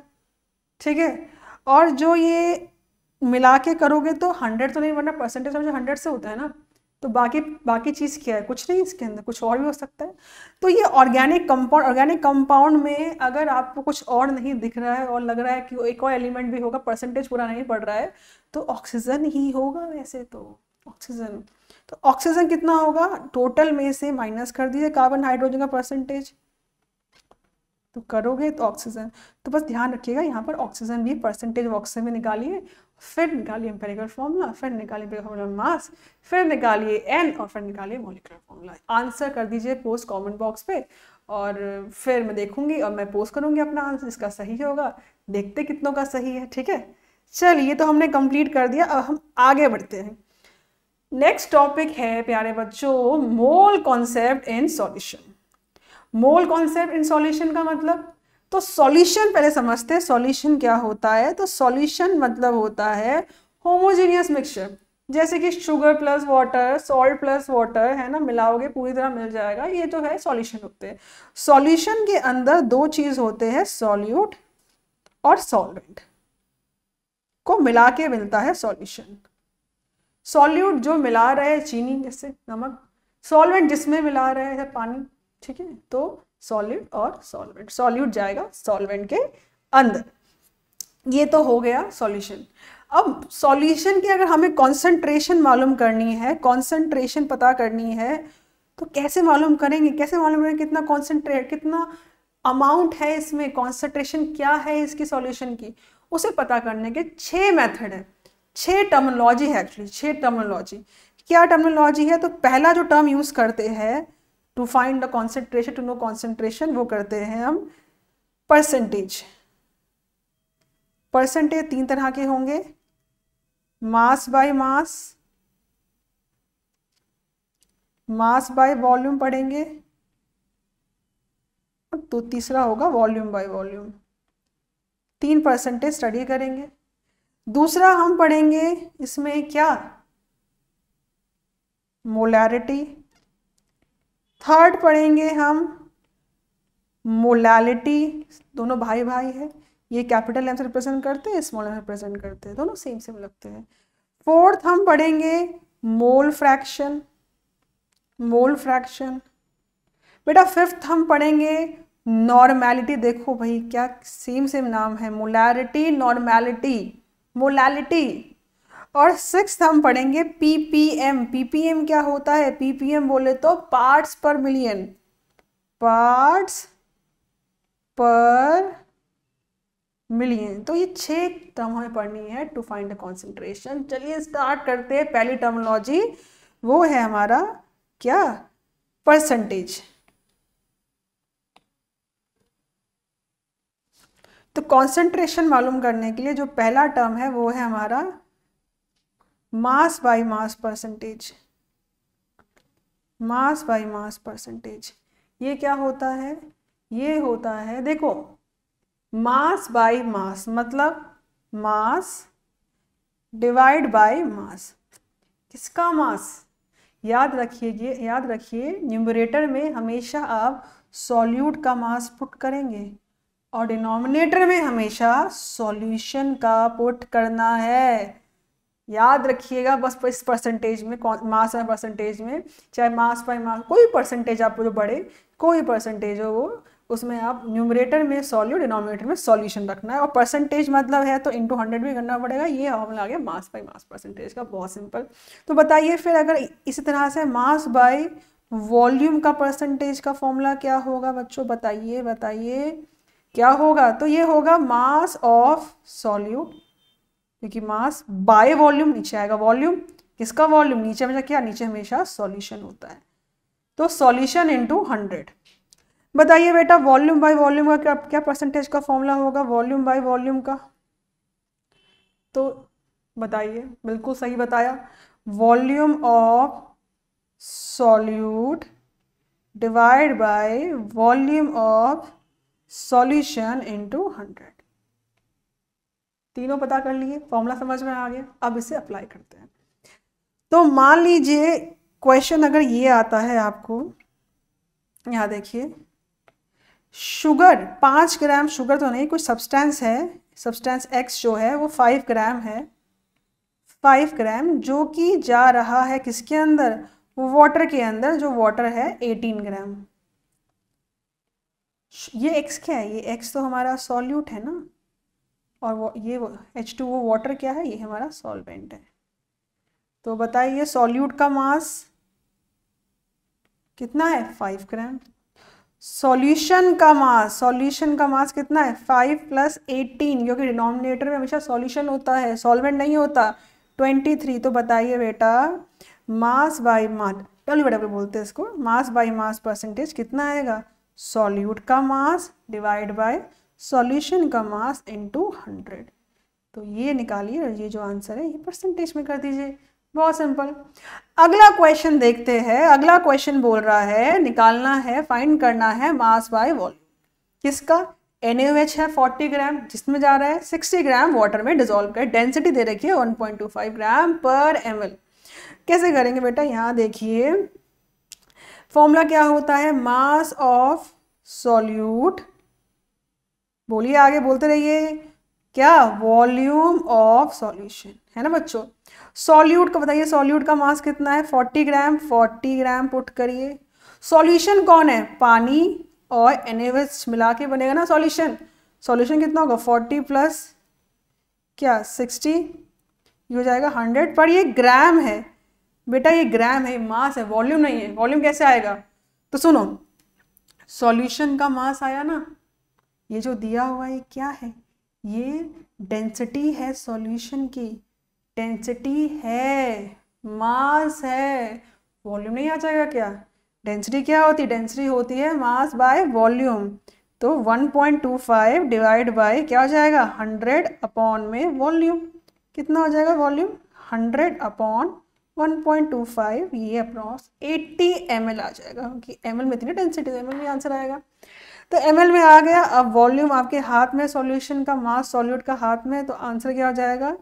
तो W बाई वी परसेंटेज हो जाएगा। सॉल्यूट का mass 40 divide by 80 into hundred बेटा ये हो जाएगा 50 परसेंट ठीक है? आ गया वो बहुत आसान है। अगला मूव करते हैं। नेक्स्ट है हमारा मोल फ्रैक्शन चलो पढ़ते हैं फिर मोल फ्रैक्शन तो बच्चों मोल फ्रैक्शन जो होता है, ये क्या होता है? मान लीजिए कंटेनर के अंदर मैंने दो चीज़ें मिक्स कर रखी मान लीजिए कोई गैस मिक्स कर रखी ए गैस और बी गैस और मान लीजिए ए के मोल्स कुछ है एन ए और बी के मोल्स है मोल्स ऑफ़ बी गैस कुछ है। तो मोल फ्रैक्शन मतलब मोल्स को फ्रैक्शन में रखेंगे। मतलब अगर मुझे मोल फ्रैक्शन ऑफ़ ए निकालना X the symbol of mole fraction अगर मोल फ्रैक्शन निकालें, कैसे निकालेंगे? ए के मोल्स डिवाइड में क्या? फ्रैक्शन क्या होता है? उसका वैल्यू डिवाइड टोटल वैल्यू ना? टोटल मतलब क्या? ए और बी दोनों के मोल्स होंगे ना? तो moles of A plus moles of B अगर वैसे मुझे मोल फ्रैक्शन ऑफ़ बी बताना है तो क्या करेंगे? बी के मोल्स और डिवाइड में टोटल मोल्स मतलब moles of A plus moles of B तो जिसके भी आप मोल फ्रैक्शन निकाल रहे हैं, उसका मोल डिवाइड में टोटल जितने भी कंपोनेंट्स है उसके अंदर। मान लीजिए किसी के अंदर का तीन कॉम्पोनेंट है ए बी और सी तीनों के तीनों है तो moles of A plus moles of B plus moles of C क्या करेंगे? तो आपके मोल्स ऑफ़ ए हो जाएँगे मोल फ्रैक्शन ऑफ़ ए हो जाएगा moles of A upon moles of A plus moles of B plus moles of C same वैसे mole fraction of B moles of B divide total moles और mole fraction of C moles of C divide by total moles तो ये simply हो गया mole fraction एक question से समझते और जरा इसको? तो मान लीजिए, ये क्वेश्चन देख लीजिए। ये सॉल्यूशन के अंदर कौन है? ग्लूकोज है किसके अंदर? ग्लूकोज डाला है पानी के अंदर वाटर के अंदर। तो ग्लूकोज का मास दे रखा है मोल्स नहीं दिया है, और वाटर का भी मास दे रखा है मोल्स नहीं दिया है। तो डायरेक्ट फॉर्मूला अप्लाई कर लो मोल्स निकालने का फॉर्मूला होता है given mass by molar mass given mass by molar molar mass मतलब ग्राम मोलिकुलर मास मतलब एक मोल का मास एक मोल का मास, ग्राम मोलिकुलर मास, ठीक है? तो ग्लूकोज का मोल्स निकालेंगे। ग्लूकोज के मोल्स कितने होंगे? ग्लूकोज का मास, ठीक है, गिवन मास।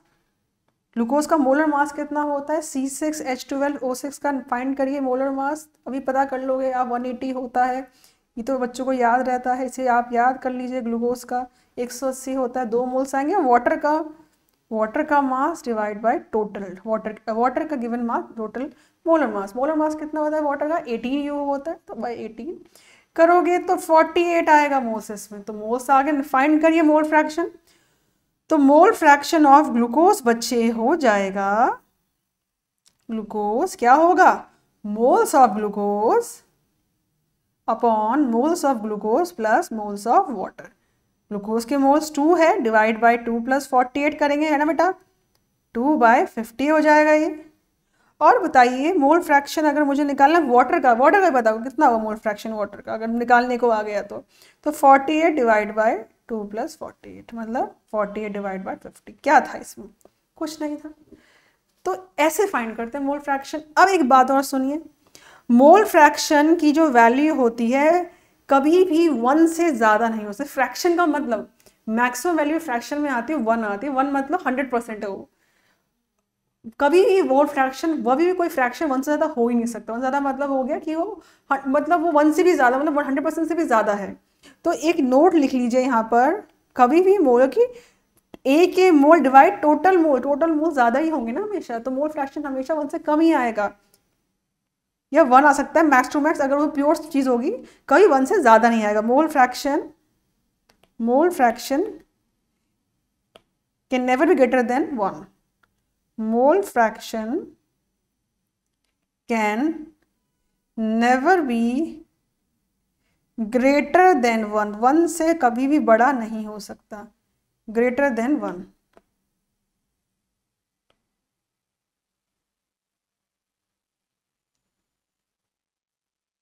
वन दूसरा दूसरा नोट याद रखिए।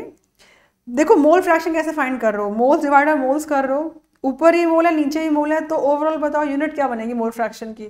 मोल से मोल कट जाएगा, ये यूनिट बनेगी? नहीं। तो दूसरा नोट जो है, वो ये है mole fraction is unitless quantity mole fraction is unitless कोई यूनिट नहीं होती बेटा से, कोई यूनिट नहीं होती। इज़ यूनिटलेस कोई यूनिट नहीं होती। ये दो नोट याद रखिएगा हमेशा, कभी वन से ज़्यादा नहीं। अगर कभी आपका मोल फ्रैक्शन वन से ज़्यादा आता है, इसका मतलब आपने गलत करा है उसको, ठीक है? दोबारा करना पड़ेगा आपको सॉल्व ये क्वेश्चन समझ में आ गया तो ये क्वेश्चन आप खुद करेंगे, थोड़ा समझा रही हूँ। थर्टी परसेंट बाई मास बोला, इसका मतलब होता है thirty percent mass by mass percent दे दिया है। इसको थोड़ा ओपन करते हैं।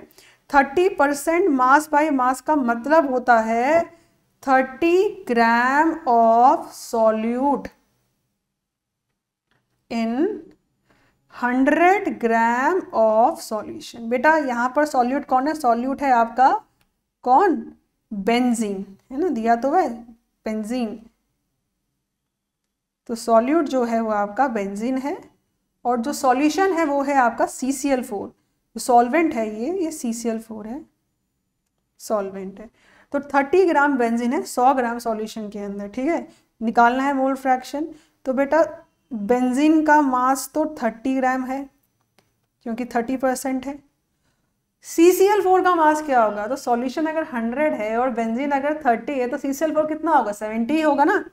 तो सी सी एल फोर का जो मास होगा, वो होगा आपका सेवेंटी ग्राम ठीक है बच्चों? अब बेंजीन के जो ये मास है बेंजीन का मोल्स क्या होंगे? थर्टी डिवाइड बाई बेंजीन का मोलर मास मोलर मास क्या होता है? फॉर्मूला होता है सी सिक्स एच बेंजीन का. तो twelve into six plus six into plus six कर दीजिए ये सेवेंटी टू प्लस सिक्स मतलब सेवेंटी एट और मोल्स क्या होंगे? सी सी एल फोर के फाइंड करिए, ये आप खुद से फाइंड करिए, और निकाल कर आप बताइए मोल फ्रैक्शन क्या होगा बेंजीन का। जो जो मैं क्वेश्चन बोलते जाऊँ, उसके आंसर नीचे पोस्ट करते जाओ देखेंगे कितने बच्चों के आंसर सही है। ये क्वेश्चन खुद से करना। नेक्स्ट टॉपिक है बेटा मोलारिटी मोलारिटी क्या होता है? ये होता है कि अगर मेरे पास एक लीटर सॉल्यूशन है, एक लीटर सॉल्यूशन है, इसके अंदर कितने मोल्स है सॉल्यूट के दैट इज़ कॉल मोलारिटी मतलब एक लीटर सॉल्यूशन के अंदर सॉल्यूट के जो मोल्स है, वही मोलारिटी होता है। इसे बोलते हैं it is number of moles present in किसमें? वन लीटर ऑफ़ सॉल्यूशन ठीक है? मोलारिटी का फॉर्मूला भी यही होता है। मोलारिटी का फॉर्मूला होता है सॉल्यूट के moles number of solute divide में क्या? डिवाइड में volume of solution volume of solution वो भी लीटर में नेवर इन एमएल लीटर में हमेशा। अगर मान लीजिए आपका सॉल्यूशन का जो वॉल्यूम है वो वन हो जाए तो मोलारिटी किसके हो जाएगा? Molarity will be equal number of number of moles of solute इसे मैंने नंबर ऑफ़ मोल्स नहीं लिखा है, लिख लेते हैं। Number of moles of solute तो बेटा, अगर वॉल्यूम यहाँ पर वन हो जाए तो ये पार्ट हट जाएगा। तो मोलारिटी हो जाएगी इक्वल किसके? मोल्स ऑफ़ सॉल्यूट के। तो वही तो बोल रहे हैं मोलारिटी क्या है? Number of moles of solute किसके अंदर है? वन लीटर ऑफ़ सॉल्यूशन के अंदर है। क्वेश्चन कैसे आते हैं? क्वेश्चन से पहले थोड़ी यूनिट्स यूनिट जान लीजिए, फिर क्वेश्चन भी आ जाएँगे। ठीक है? चलिए। तो क्वेश्चन यूनिट्स जानते हैं। सिंबल तो होता है, कैपिटल एम इसका, कैपिटल एम सिंबल होता है। यूनिट यूनिट क्या हो गई इसकी? तो मोल्स की यूनिट होती है मोल ही होती है वॉल्यूम की होती है लीटर यूनिट क्या हो गई इसकी? मोल per litre mole per litre unit हो गई। इसे कभी कभी मोलर भी बोला जाता है, मोलर मोलर लिखा जाए, समझ जाना, मोलारिटी है। या कभी कभी कैपिटल एम लिख के छोड़ देगा कि बोलेगा two capital M two M तो टू मोलर ही होता है, ठीक है? मतलब मोलारिटी की ही बात कर रहा है। ये तो बात हुई यूनिट्स की। अब इसमें से क्वेश्चन कैसे आते हैं? तो क्वेश्चन थोड़ा देख लेते हैं। ये क्वेश्चन है। बोल रहा है एन को डिजोल्व किया है, एक लीटर सॉल्यूशन पर लीटर मतलब एक लीटर सॉल्यूशन में मोलारिटी फाइंड करने को बोल रहा है। एन डिजोल्व हुआ है एन का मास कितना है? फोर ग्राम है बेटा, क्या मोल्स आ जाएँगे इसके? मोल्स क्या होंगे? मोल्स होंगे फोर बाई मोलर मास है ना? नंबर ऑफ़ मोल्स कितना होता है? Given mass by number molar formula होता है n number of moles given mass by molar mass होता है। मतलब ग्राम मॉलिकुलर मास तो फोर बाय कितना होता है एन का? फोर्टी फाइंड करिए फोर्टी होता है तो हो जाएगा ये वन बाय टेन ये आ गए मोल्स मोलारिटी होती है number of moles of solute divide by बोलो बोलो फॉर्मूला बोलो फॉर्मूला तभी याद होगा बोल बोल के। वॉल्यूम ऑफ़ सॉल्यूशन वो भी लीटर में।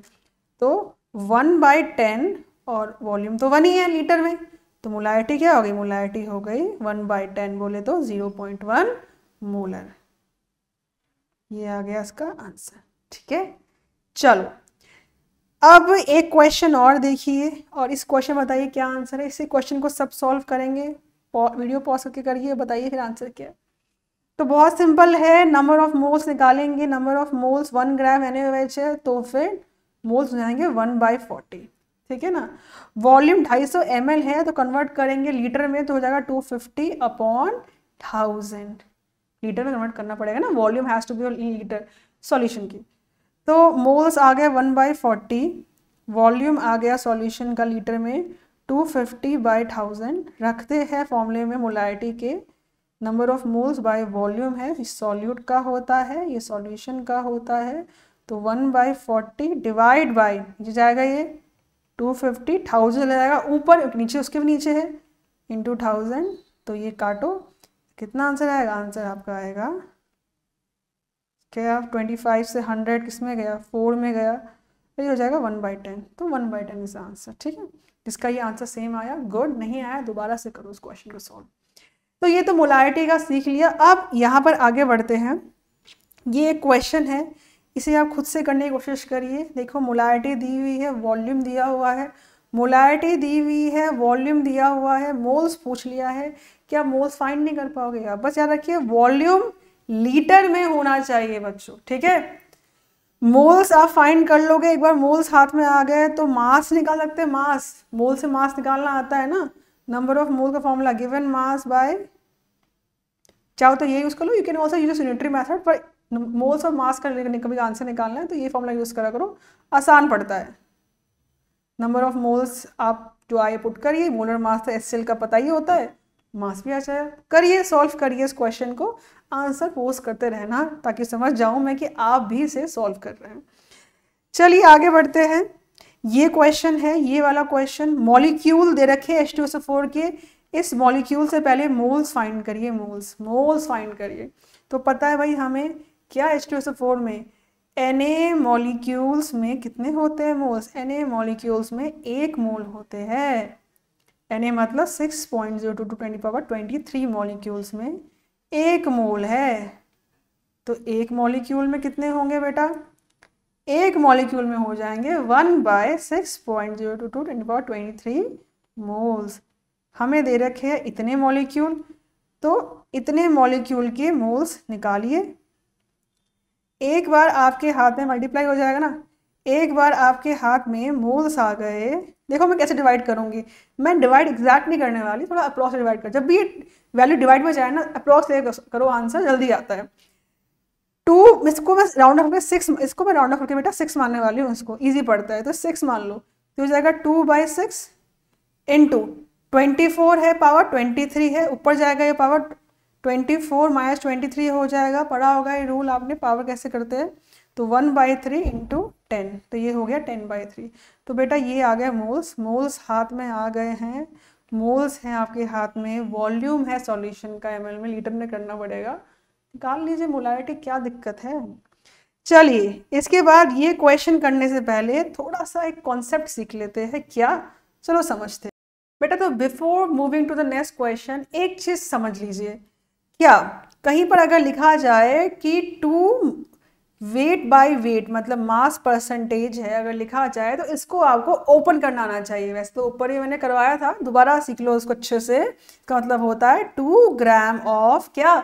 सॉल्यूट फॉर्मूला था ना सॉल्यूट डिवाइड बाय सॉल्यूशन था तो सॉल्यूट किसमें in hundred gram of solution. इसका मतलब ये होता है कि दो ग्राम सॉल्यूट है, सौ ग्राम सॉल्यूशन में कोई आपसे बोले कि अगर फाइव है weight by volume mass by volume है परसेंटेज तो मतलब क्या होगा? Five gram of solute five gram of solute किसमें? In hundred m l percentage hundred आएगा ही। एम एल क्यों? क्योंकि बाय वॉल्यूम परसेंटेज सॉल्यूशन ये ओपन करना चाहिए। इसके अलावा, कहीं पर अगर लिखा जाए आपको कि टू मोलर सॉल्यूशन है, two molar. Two molar solution है, two molar mole per litre है या फिर टू कैपिटल लिखते बात एक ही है। इसको भी ओपन करना आना चाहिए आपको, इसका मतलब होता है टू मोल्स ऑफ़ सॉल्यूट किसमें? बोलो। In one litre of solution. As per definition open कर रही हूँ, वही तो कहता है, कितना सॉल्यूट गया एक लीटर सॉल्यूशन में? मतलब दो मोल सॉल्यूट गया एक लीटर सॉल्यूशन में। अगर आप फॉर्मूले अप्लाई करके देखिए तो मोल्स अपॉन वॉल्यूम में मोलारिटी टू ही तो आ रही है। तो इसका ओपन करना चाहिए आपको स्टेटमेंट अगर आपको बोले टेन मोलर सॉल्यूशन है तो इसे बताइए कैसे ओपन करेंगे? तो ten moles of solute in one litre of solution. ठीक है? तो आप चलिए मूव मूव करते हैं नेक्स्ट क्वेश्चन की तरफ़ और समझते हैं क्वेश्चन कैसे करा जाए। तो देखो यहाँ दे रखा है मास परसेंटेज कैसे करेंगे? तो इसका मतलब है twenty mass twenty gram of क्या? सॉल्यूट कौन है? एन किसमें? इन सॉल्यूशन होता है ना? और परसेंट मतलब क्या? हंड्रेड तो in hundred gram of solution ठीक है बेटा?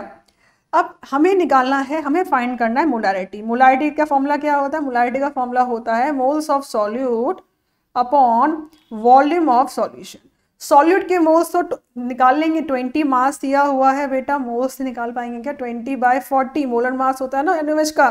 मोल्स आ जाएँगे हाफ़ मोल्स तो हमें मिल गए। वॉल्यूम कैसे मिलेगा? Volume of solution. क्या सॉल्यूशन का वॉल्यूम दिया हुआ है? बिल्कुल नहीं दिया हुआ। सॉल्यूशन को तो मास दिया हुआ है। पर यहाँ तो डेंसिटी दी हुई है ना। क्या करेंगे? डेंसिटी का फॉर्मूला होता है मास बाय वॉल्यूम। डेंसिटी दी है 1.2 मास है सॉल्यूशन का ही रखना है। 100 ग्राम। वॉल्यूम आ जाएगा आपका 100 अपॉन 1.2 ml बेटा एम में आएगा लीटर में करना ज़रूरी है। मोल्स हाथ में आ गया वॉल्यूम हाथ में आ गया, बेटा पुट कर दो मोलाइटी नहीं आ जाएगी क्या? तो ये है तरीका बाय होल लॉजिकल मैथड कैसे इसे करा जाता है। अगर आपको शॉर्टकट यूज़ करना जो कि हम यूजली एग्ज़ाम में शॉर्टकट यूज़ करते हैं, क्योंकि अगर हम इसे करने बैठे बहुत टाइम खा जाएगा क्वेश्चन हम डायरेक्ट क्वेश्चन अप्लाई करेंगे शॉर्टकट मेथड से डायरेक्ट फॉर्मूला अप्लाई करेंगे तो फॉर्मूला होता है मोलाइटर निकालने का. मास परसेंटेज अगर दिया है, देखिए कैसे निकालते हैं. तो मोलाइटी इक्वल होती है बेटा mass by mass percentage into density into ten divide by molar mass किसका molar mass divide by molar mass solute का। ये फॉर्मूला याद रखिएगा। वेरी इंपॉर्टेंट फॉर्मूला ये फॉर्मूले से आप डायरेक्ट मोलारिटी फाइंड कर सकते हैं। डेंसिटी दिया हुआ है और अगर आपको मास मास परसेंटेज दिया हुआ है। कैसे? जरा अप्लाई करना ये फॉर्मूला ऊपर। तो ऊपर के देखो अप्लाई ट्वेंटी परसेंटेज था और डेंसिटी वन पॉइंट टू थी। तो एन का ट्वेंटी परसेंटेज था मास बाय मास और डेंसिटी जो थी वो वन पॉइंट टू थी। करो मोलारिटी निकालो। 20 into one point two into ten molar mass कितना है फोर्टी डायरेक्ट सॉल्व करो बेटा आंसर आपके हाथ में, क्या दिक्कत है? दिमाग लगाना ही नहीं ज़्यादा। ध्यान रहे डेंसिटी जो है this density is gram per M L M L बोल लो सी सी मतलब क्यूबिक सेंटीमीटर बोलो एक ही बात होती है, ठीक है? This density has to be gram per m l किसी और यूनिट में ना हो, ना कन्वर्ट करनी पड़ेगी यूनिट इसमें ठीक है? डेंसिटी ग्राम पर होना चाहिए। तो ये है एक टाइप ऑफ़ क्वेश्चन जो हमने कर लिया मोलारिटी का रिलेशन किससे? मास परसेंटेज से। ठीक है? आगे बढ़ते, ये क्वेश्चन है जो कुछ वैसा ही क्वेश्चन है। मास परसेंटेज दिया हुआ है डेंसिटी दी हुई है। सॉल्यूट है सल्फ्यूरिक एसिड डाइट अप्लाई करना फॉर्मूला डाइट अप्लाई करना और बताना इसमें से कौन सा आंसर आने वाला है। चलिए, कर लीजिएगा फॉर्मूला अप्लाई और क्वेश्चन सॉल्व कर लीजिएगा। मैं मूव करती हूँ नेक्स्ट क्वेश्चन में। आप कर लीजिएगा आंसर कर दीजिएगा पोस्ट ठीक है? चलिए, अगला है बेटा मोलालिटी मोलालिटी मोलालिटी का है छोटा भाई छोटा भाई है ये स्मॉल एम से नोट करते हैं मोलालिटी बड़ा था मोलालिटी छोटा होता डिफरेंस क्या है? डिफरेंस बस छोटा सा ही है। फॉर्मूला तो वही है, उसका number of moles of solid उसमें वही होता है। डिफरेंट क्या है फिर? डिफरेंट ये है डिनोमिनेटर में उसमें क्या था? वॉल्यूम ऑफ़ सॉल्यूशन इसमें डिनोमिनेटर में क्या है? Mass of solvent. Mass of solvent, जैसे वो लीटर में था, ये केजी में होना चाहिए। उसमें डिनोमिनेटर में, मोलारिटी में सॉल्यूशन था, यहाँ पर सॉल्वेंट होता है, वो लीटर में था, वॉल्यूम है तो ये केजी में होता है। तो अगर मैं वॉल्यूम, मास ऑफ़ सॉल्वेंट को मैं वन कर दूँ तो molarity will be equal to what? Molarity will be equal to moles of solute. तो can I say that molality is the number of moles of solute? वही तो है, कब? जब सॉल्वेंट का मास कितना one k g it is number of moles of solute किसमें dissolve है? जो वन ये वन तो ये चीज़ हट जाएगी और मोलारिटी आ जाएगा मोल्स के इक्वल तो डिफाइन करते हैं इसको. डिफाइन करेंगे बेटा. Number of moles of solute number of moles of solute dissolved in 1 kg of solvent बेटा यूनिट क्या होगी? यूनिट लगा लीजिए अपने हिसाब से। मोल पर केजी होगी एक तो है ना? मोल पर केजी दूसरी यूनिट कर लीजिए स्मॉल एम भी लिखते हैं और कभी कभी इसको मोलल लिखते हैं। कभी कुछ भी लिखा हुआ है, ये मोलालिटी की बात करता है। क्वेश्चन कैसे आएँगे? क्वेश्चन देखिए, चलिए आ जाइए। तो क्वेश्चन है, ये सॉल्यूट है जो डिजोल्व किया है इतने पानी के अंदर। मोलालिटी पूछ रहा है, क्या करना है? पहले तो सॉल्यूट का मास दिया हुआ है, भाई इससे मोल्स निकाल लीजिए, क्या दिक्कत है? 5.6 मोल्स की मोलर मास क्या होता है? 2 into twenty three plus twelve plus three into sixteen मतलब 46 plus twelve plus forty eight one zero six होगा ये। वन ज़ीरो सिक्स आ गए हमारे मोल्स मोल्स हाथ में आ गए। अब इसके भी ये क्या है? मोलाइलिटी का जो फॉर्मूला होता है, वो मोल्स ऑफ़ सॉल्यूट पर रखते हैं ना, वो तो आ गए हाथ में हमारे। सॉल्यूट के मोल्स अब रखना है नीचे क्या? सॉल्वेंट का मास। सॉल्वेंट का मास कितना दिया है? 400 ग्राम दिया है। तो रख लीजिए, क्या दिक्कत है? 5.6 point six upon one zero six into four hundred. पर ये ग्राम में है, कन्वर्ट करिए, केजी में डिवाइड होगा थाउज़ेंड से थाउज़ेंड जब नीचे जाएगा तो ये ऊपर ही ले जाइए। इतना नीचे कहाँ जाना है? ऊपर ले जाइए इसको। और इंटू थाउज़ेंड कर दीजिए, आपका आंसर आ जाएगा मोलल में, ठीक है? चलिए आगे बढ़ते हैं। इसको करने से पहले कुछ और एक चीज़ जान लो नोट लिख लो। बेटा, मोलालिटी और मोलारिटी में से कौन सा डिपेंड करता है टेम्परेचर पे? अगर टेम्परेचर बढ़ाएँगे, देखो मोल्स तो दोनों के फॉर्मूले में क्या है? दोनों के फॉर्मूले में मोल्स कॉमन है, दोनों के फॉर्मूले में मोल्स आते हैं। इसमें वॉल्यूम ऑफ़ सॉल्यूशन आता है और इसमें मास ऑफ़ सॉल्वेंट आता है। मोल तो कभी घटते बढ़ते नहीं, बराबर रहते जब तक हमारा अमाउंट सेम है। अगर हम टेम्परेचर बढ़ाएँगे तो उसमें मोल्स घटेंगे, बढ़ेंगे नहीं लेकिन अगर टेम्परेचर बढ़ाएँगे तो वॉल्यूम बढ़ता है, पता है ना? तो टेम्परेचर बढ़ाने से क्या होगा बेटा? टेम्परेचर बढ़ाएँगे तो वॉल्यूम ऑफ़ सॉल्यूशन बढ़ेगा।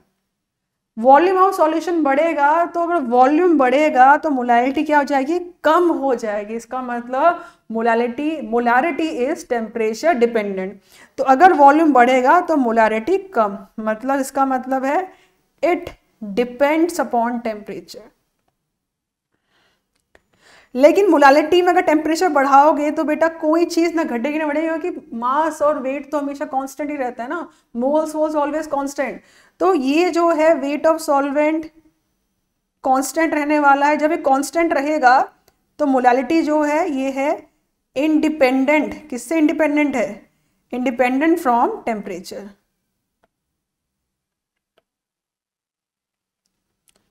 लिख लो मोलालिटी एक सेकेंड ना। यहाँ लिख लेते इंडिपेंडेंट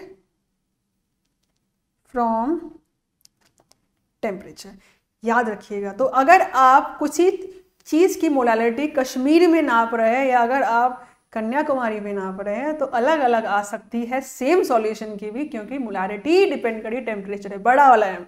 छोटा वाला है मोलालिटी जो है, वो सेम रहती है। कहीं भी चले जाइए, इसलिए मोलालिटी एक बेटर टर्म है कॉन्सेंट्रेशन फाइंड करने का, क्योंकि वो चेंज नहीं हो रहा टेम्परेचर से, पर मोलालिटी अपना रंग बदल देगा। टेम्परेचर के साथ साथ। रंग मतलब कॉन्सेंट्रेशन बदल देगा, रंग नहीं बदलने वाला हो तो बच्चों, अगर कभी आपसे मोल फ्रैक्शन निकालने के लिए बोल रहा है और आपको मोलालिटी दे रखा है या वाइजा वर्सा है तो डायरेक्ट फॉर्मूला अप्लाई इसमें कर सकते हो। डायरेक्ट एक फॉर्मूला लगता है।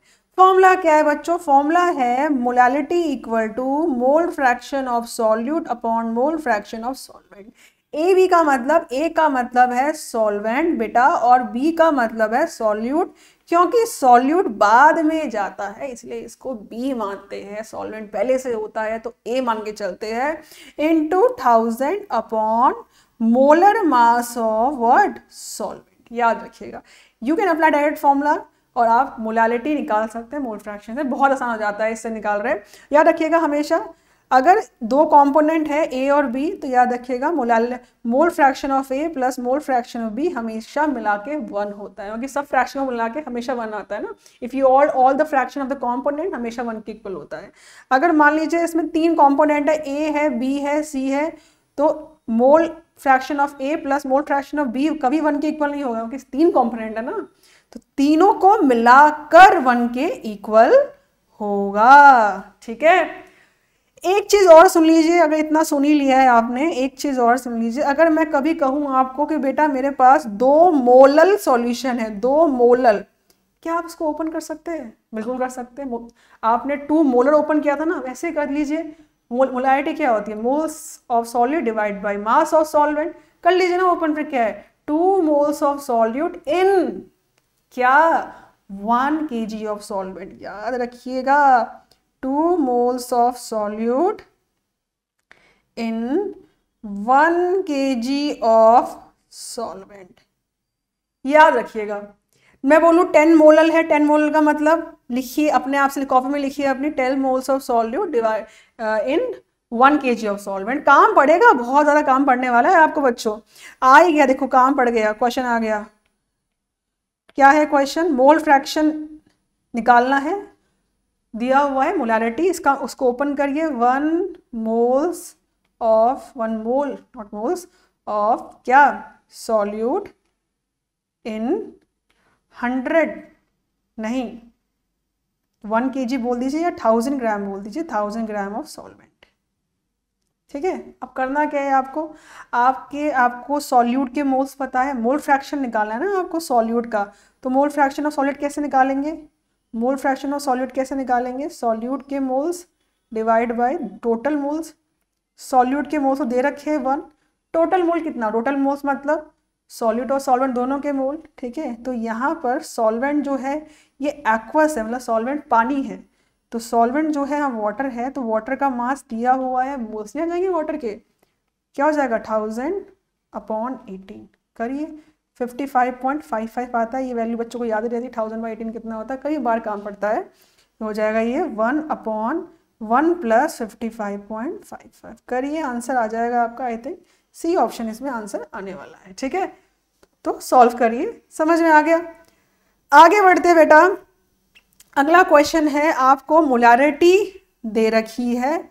आपको डेंसिटी दे रखी है और आपको अच्छा मोलारिटी पूछी हुई है और आपको मोलालिटी दे रखी है। तो मोलालिटी जो है वो 1.5 है, डेंसिटी जो है वो 0.15 ग्राम पर सीसी सीसी मतलब एम होता है, सीसी मतलब होता है क्यूबिक सेंटीमीटर और वो एमएल के इक्वल होता है। तो ग्राम पर सीसी और सल्फ्यूरस एसिड है H two S O three है बच्चों को है ना? सल्फ्यूरस एसिड है। इसका पूछा हुआ है निकालो मोलारिटी क्या होगी? तो या तो आप डायरेक्ट फॉर्मूला यूज़ करो या पूरा सॉल्व कर लो मर्ज़ी आपकी है। पूरा कैसे करोगे? मोलारिटी का फॉर्मूला होता है number of moles of solute upon volume of solution. बार बार लिखने के बाद तो फॉर्मूला याद हो ही चुका होगा। बेटा जी इसे ओपन कर लीजिए आपको मोल्स मिलेंगे। कैसे? इसका मतलब होता है 1.5 moles in thousand gram of solvent. Solvent क्या है? पानी ले लीजिए। को, कोई नहीं सॉल्वेंट लिख लेते थाउज़ेंड ग्राम ऑफ़ सॉल्वेंट। तो मोल्स तो 1.5 है, वो ऊपर मिल गया। वॉल्यूम चाहिए सॉल्यूशन का, वॉल्यूम चाहिए, कैसे करेंगे? वॉल्यूम डेंसिटी दी है, डेंसिटी सॉल्यूशन की दी है। अगर सॉल्यूशन का मास मिल जाए तो मज़ा आ जाएगा। डेंसिटी दी है, मास मिल जाए तो वॉल्यूम भी आ जाएगा। क्या सॉल्यूशन का मास ऊपर कहीं दे रखा है? कहीं दे रखा है क्या? नहीं दे रखा, ये तो सॉल्वेंट का मास दे रखा है। तो क्या करोगे? लगाओ दिमाग। ये है सॉल्यूट के मोल्स। सल्फ्यूर, सल्फ्यूरस एसिड है। तो भाई, सॉल्यूट के जो मोल्स है, वो दिए हुए हैं आपको 1.5 इस मोल से मास निकाल लो ना इसका। मोलर मास मोलर मास कितना होगा? वो निकाल लो एच टू एस थ्री का 1.5 डब्ल्यू अपॉन मोलर मास जो होता है पुट करो। मोलर मास अगर आपके हाथ में आ गया तो आपके पास सॉल्यूट का मास आ गया। सॉल्यूट का मास आया ना? सॉल्वेंट का मास पता है ना? क्या करोगे? ऐड कर दो। क्या मिल जाएगा? सॉल्यूशन का मास तो जो वैल्यू जो वैल्यू आपको यहाँ, आप यहाँ पुट करिए डब्ल्यू की जो वैल्यू आएगी तो मास ऑफ़ सॉल्यूशन निकालने के लिए ये वैल्यू को प्लस कर दीजिए किसके साथ? थाउज़ेंड के साथ, क्योंकि ये सॉल्वेंट का मास बेटा, एक बार सॉल्यूशन का मास मालूम पड़ गया डेंसिटी दी है सॉल्यूशन की, निकाल लो ना. क्या निकाल लो? वॉल्यूम निकाल लो. वॉल्यूम आ गया पुट करो आंसर आएगा और क्या? ये है जो हमने तरा, ये है यूजुअल मेथड ये है आम ज़िंदगी। चलो मूव करते हैं टूवर्ड्स नॉट आम ज़िंदगी में, और वो है डायरेक्ट फॉर्मूला इतना दिमाग लगाना नहीं एग्ज़ाम में डायरेक्ट फॉर्मूला निकाल लगाएँगे और आंसर आएगा। तो रिलेशन क्या है? मोलालिटी मोलारिटी और डेंसिटी में सीखिए मेरे साथ रिलेशन तो जो क्वेश्चन मैंने अभी आपको कराया, मैंने कहा डायरेक्ट फॉर्मूला है। डायरेक्ट फॉर्मूला क्या है? लिखो भाई, लिखो। तो डायरेक्ट फॉर्मूला है molality equal to thousand into molarity upon thousand into density D for density minus molarity into molecular mass of B what is B solute I told you तो ये direct formula apply करो भाई। ऊपर वाले question में याद होगा आपको। मोला ऊपर वाले क्वेश्चन में आपको मोलालिटी दे रखी थी, आपको डेंसिटी दी थी मोलर मास तो पता ही था सॉल्यूट कौन सा था? सॉल्यूट आपका था सल्फ्यूरस एसिड तो डायरेक्ट पुट करते आपका मोलालिट मोलारिटी आ जाता। तो भाई एम लिख लो बच्चों एम है मोलारिटी डी है डेंसिटी वैसे पता तो है इन सब के, इस सब के क्या मतलब होता है? M B is molar mass मतलब gram gram molecular mass molar mass of किसका बच्चों? सॉल्यूट का। बेटा स्मॉल एम जो है, वो है मोलैलिटी तो डायरेक्ट अप्लाई करके देखिए फॉर्मूला क्या आपका आंसर आता नहीं आता? तो डायरेक्ट अप्लाई करोगे तो सही रहेगा। ये फॉर्मूला जितना ज़्यादा आपको याद हो, सारे शॉर्टकट फॉर्मूले उतना ही जल्दी आप उसे कैलकुलेट कर सकोगे क्वेश्चन को। आगे बढ़ते हैं बच्चों और पढ़ते हैं एक कॉन्सेप्ट से बोलते हैं इक्विलेंट वेट ये क्यों पढ़ना है? क्योंकि इसको बिना पढ़े हम नॉर्मेलिटी नहीं पढ़ पाएँगे। इसे बिना पढ़े हम रिडॉक्स नहीं पढ़ पाएँगे, जो रिडॉक्स चैप्टर आने वाला है आगे चैप्टर नंबर आपका वॉल्यूम टू का। ठीक है तो इक्वलेंट वेट होता क्या है? इक्वलेंट वेट होता है बच्चों molecular mass molecular mass divide by N factor N F का मतलब है बेटा एन फैक्टर एन फैक्टर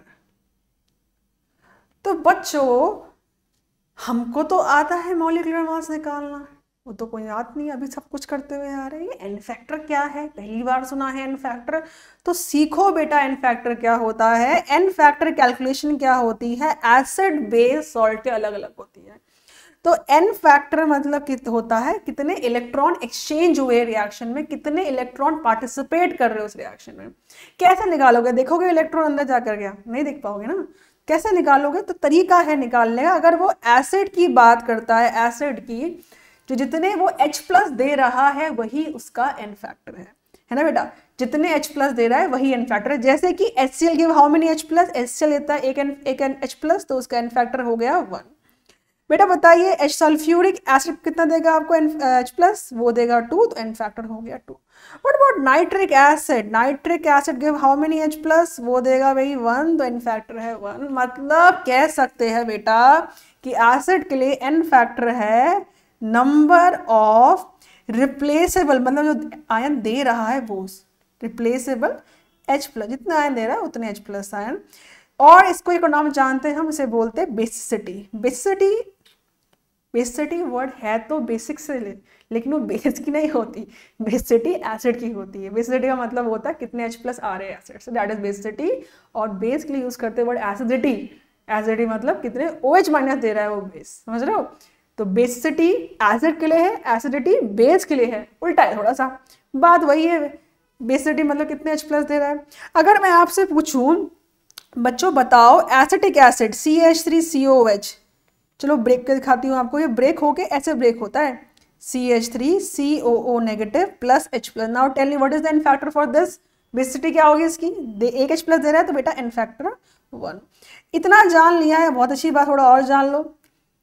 दूसरा है boric acid boric acid H three B O three boric acid लिख लो इसको बोरिक एसिड बेटा बोरिक एसिड जो है, बताओगे कितनी बेसिटी हो, कितने एच प्लस देगा ये? तो देख के तो तीन लग रहा होगा, तीन। पर वही याद रखिए, इसकी बेसिटी थ्री नहीं होती, ये तीन एच प्लस नहीं देता है। बोरिक एसिड असल में इसको ऐसे करते हैं और ये एक ओ एच माइनस लेता है। Acid are also those element which accept O H minus किसने कहा ये? मैंने तो नहीं कहा। आगे जाके लोग बोलेंगे। पढ़ोगे आगे। इसे भी एसिड कहेंगे। ज़रूरी एच प्लस दे। जो ओ एच माइनस आपका लेता है, उसको भी एसिड ही कहा जाता है। तो बोरिक एसिड क्योंकि एक ओ एच माइनस ले रहा है एच प्लस कोई नहीं देता वो। तो इसलिए बोरिक एसिड आपका जो होता है, एक ही ले रहा है, इसलिए इसकी बेसिटी कितनी होगी? बेसिटी हो जाएगी आपकी one.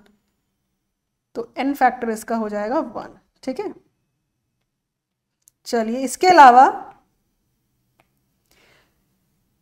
phosphoric acid H three P O four बोलते हैं इसको ऑर्थोफॉस्फोरिक एसिड ऑर्थोफॉस्फोरिक एसिड बेटा, कितने देगा एच प्लस आयन तो इसका स्ट्रक्चर कुछ ऐसे होता है। बेटा, याद रखिए, जो एच ओ के थ्रू कनेक्टेड है, वही निकलेंगे सिर्फ़। क्यों? आगे जानेंगे हम। पर जो एच ओ के थ्रू कनेक्टेड है, वही एच निकलता है। यहाँ सारे एच जो है, उसके बीच में ओ आ रहा है। वो तो कनेक्टेड है थ्रू ओ तो इसीलिए सारे एच दे सकता है जितने दिख रहे हैं। तो इसका एन फैक्टर होगा थ्री क्योंकि ये तीन एच प्लस दे सकता है। अगला है आपका नेक्स्ट वो है H three B O three H three P O three जो है, इसे बोलते हैं हम ऑर्थोफॉस्फोरस एसिड नाम रखिए याद फॉर्मूला रखिए याद ऑर्थोफॉस्फोरस एसिड बेटा, ये इसका इसका स्ट्रक्चर कुछ ऐसे होता है, ऐसे। ओ एच ओ एच और ओ सारे खत्म हो गए, तीन थे, तीनों लग चुके तो बेचारा एच लग जाएगा अकेले ही। अब मैंने कहा एच प्लस निकलेगा वहाँ से जो कनेक्टेड होगा ओ से। ये एच कनेक्टेड पी से निकल नहीं पाएगा। एच प्लस फॉर्म में दो ही निकल सकते हैं तो इसका इनफैक्टर आपका होगा टू लग रहा है, तीन निकले निकलते सिर्फ़ दो ही क्योंकि दो ही एच प्लस निकाल सकता है जो कनेक्टेड है ओ से। अगला है बेटा आपका hypophosphorous acid H three P O two hypo hypophosphorous acid कितने देगा एच प्लस ए तो बनाओ स्ट्रक्चर इसका। ओ एच एच एच कितने, एक ही तो लग रहा है एच वो कनेक्टेड है वो से कितने देगा? सब बता देंगे, अब तो वन ही होगा। याद होना चाहिए, ये याद होने चाहिए। तीनों के तीनों और साथ साथ बोरिक एसिड वाला भी याद होना चाहिए। एसिडिक एसिड तो हर कोई बच्चा याद करता ही है वैसे। सब याद होना चाहिए, ठीक है? जो लिख दिए वो सारे इंपॉर्टेंट है। आगे बढ़ते हैं। ये तो हो गया बेस के लिए। अब बेस की बात कर ली तो बाकी की बात नहीं करेंगे। एसिड के लिए हुआ है सॉरी तो एसिड की बात करी है तो क्या बेस की बात नहीं करेंगे?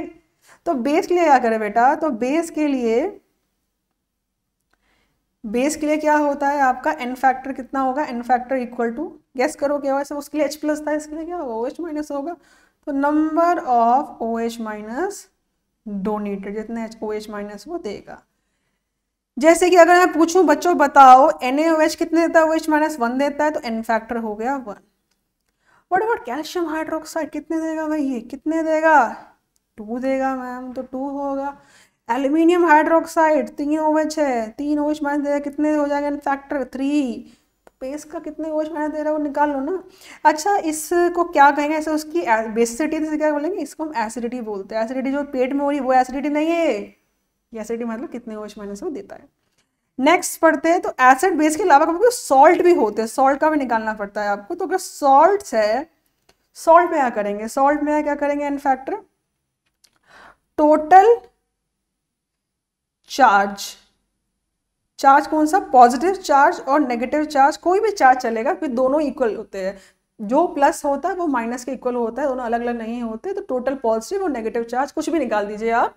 वो होगा इन फैक्टर जैसे कि मैं बोलूँ आपको, अगर कोई सॉल्ट है N A C L N A C L में चार्ज कितना है? एन ए प्लस है पॉजिटिव चार्ज वन है सी एल माइनस है। देखो वन ही तो है, हमें मतलब मैग्नीट्यूड से होता है चार्ज से मतलब है ही नहीं।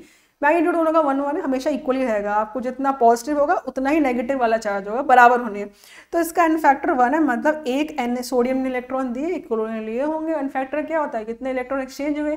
एक ही तो हुए एन बनते वक्त तो एन फैक्टर वन अगर मैं आपसे पूछूँ, ये पता एक ट्रिक भी ऐसे करने की। दिमाग लगाना नहीं आगे। जैसे देखो यहाँ कोई भी सॉल्ट जो होता है, वो इसके फॉर्म में होता है ए एक्स पी वाई जैसे यहाँ पर एन में x की वैल्यू वन है और b की जो y की वैल्यू यहाँ वन है। कुछ नहीं तो वन ही मानेंगे ना। तो जो n फैक्टर होता है सॉल्ट का, वो होता है x इंटू वाई बस बस, ये याद रखिए। एक्स वाई को मल्टीप्लाई करिए एन फैक्टर आपके हाथ में सॉल्ट जैसे अगर मैं आपसे पूछूँ N N A two S O four sodium sulphate. तो भाई एक तरफ़ ये एन है, एक तरफ़ एस ओ फोर ये ए वाला पार्ट है this one is A and this this whole is B कितना है ए टू है, दो एन है। बी कितना है? एसओ फोर एक पूरा बी है। एसओ फोर कितने एक ही है ना? तो यहाँ पर देखो बेटा एक्स की वैल्यू वन कंपेयर करो। वाई की वैल्यू कितनी है? एक्स की value two sorry sorry Y की वैल्यू वन तो एक्स वाई कितना हो गया? टू इंटू वन तो यहाँ इन फैक्टर कितना हो गया इसका? डायरेक्ट मल्टीप्लाई करो, दिमाग मत लगाओ ज़्यादा। अगला देखो, अगर आपसे पूछूँ, बट बेटा बताइए what about aluminium phosphate A L P O four aluminium phosphate है ना? एल्यूमिनियम फॉस्फेट नहीं यूज़ करते, एक काम करते हैं। इसका बताइए what about this one L two O three बताओ कितना होगा? तो कितना होगा? एक्स की वैल्यू कितनी होगी? टू वाई की वैल्यू कितनी होगी? थ्री मल्टीप्लाई करिए. एक्स इंटू वाई कितना हो गया? सिक्स तो इसका एन फैक्टर जो हो गया सिक्स हो गया। बस मल्टीप्लाई करते जाना, कुछ नहीं करना है, ठीक है? तो ये सब तो सीख लिया आपने।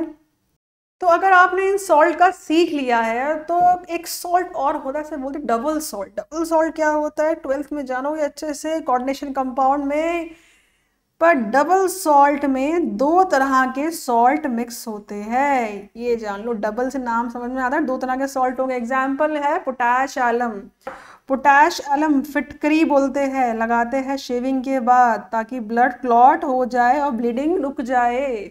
पत्थर होता है ना कलर का पोटैश अलम एलम फिटकरी। इसका फॉर्मूला होता है K two S O four dot A L two S O four L two S O four whole thrice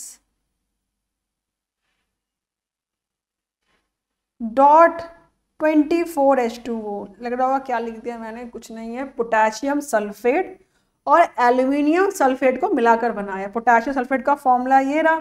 plus किया एल्यूमिनियम सल्फेट डबल है ना, दो सॉल्ट मिक्स करेंगे वाटर क्रिस्टलाइन ट्वेंटी फोर होते ये याद रखना इसके अंदर। ये याद रखना। ये आपको प्रैक्टिकल एग्ज़ाम में बहुत पूछते हैं क्वेश्चन की, भाई बताओ फॉर्मूला क्या पोटेशियम का? डबल सॉल्ट प्रिपरेशन भी है प्रैक्टिकल में इसकी तो। आगे बढ़ते हैं। इसका कैसे निकाले एन फैक्टर तो how to find factor double salt तो आप इंडिविजुअल का निकालोगे एन फैक्टर दोनों का एन फैक्टर निकाल कर आप दोनों को प्लस कर दोगे N one plus N two कैसे? चलो सीखते हैं। K two S O four का एन फैक्टर क्या होगा बेटा? है ना? क्या होगा एन फैक्टर टू और यहाँ कितना? एस ओ फोर एक ही है। तो ये हो जाएगा two N N factor N one आ जाएगा two. A L two S O four whole thrice कितना होगा? तो इसका एक्स की वैल्यू टू वाई की value three two into three मतलब सिक्स तो ये टू है, ये थ्री है। दो एन फैक्टर मिल गए आपको दोनों के तो टोटल फैक्टर क्या हो गया? N one plus N two और ये हो जाएगा टू प्लस सिक्स मतलब एट तो ये आ गया एन फैक्टर अब एन फैक्टर निकालना आ गया तो करना क्या है? वही अगर आपसे कोई पूछे इक्वलेंट वेट निकालिए तो निकाल लोगे ना, इसमें क्या है? जैसे कोई बोले कि बताओ कि बच्चों H two S O four का इक्वलेंट वेट कितना होगा? कैसे पता करेंगे? तो molecular weight divide by N factor होता है। कितना होगा इन फैक्टर बोलो बोलो, कितना होगा? टू होगा इन फैक्टर है ना? और मॉलिकुलर मास कितना है इसका? करो two plus thirty two plus four into sixteen कितना हो गया? हो जाएगा अराउंड नाइन्टी एट। इतना प्रैक्टिस कर लो मास सबकी याद हो जाए। तो equivalent weight ninety eight divide by two कितना हो गया? फोर्टी नाइन होता है। इनफैक्ट सल्फ्यूरिक एसिड का this is how we find N factor equivalent weight N factor समझ गया तो इक्वलेंट कुछ भी नहीं है आपके लिए। I hope it is clear to you next move करते हैं। इसका एप्लीकेशन कहाँ होगा? नॉर्मैलिटी में।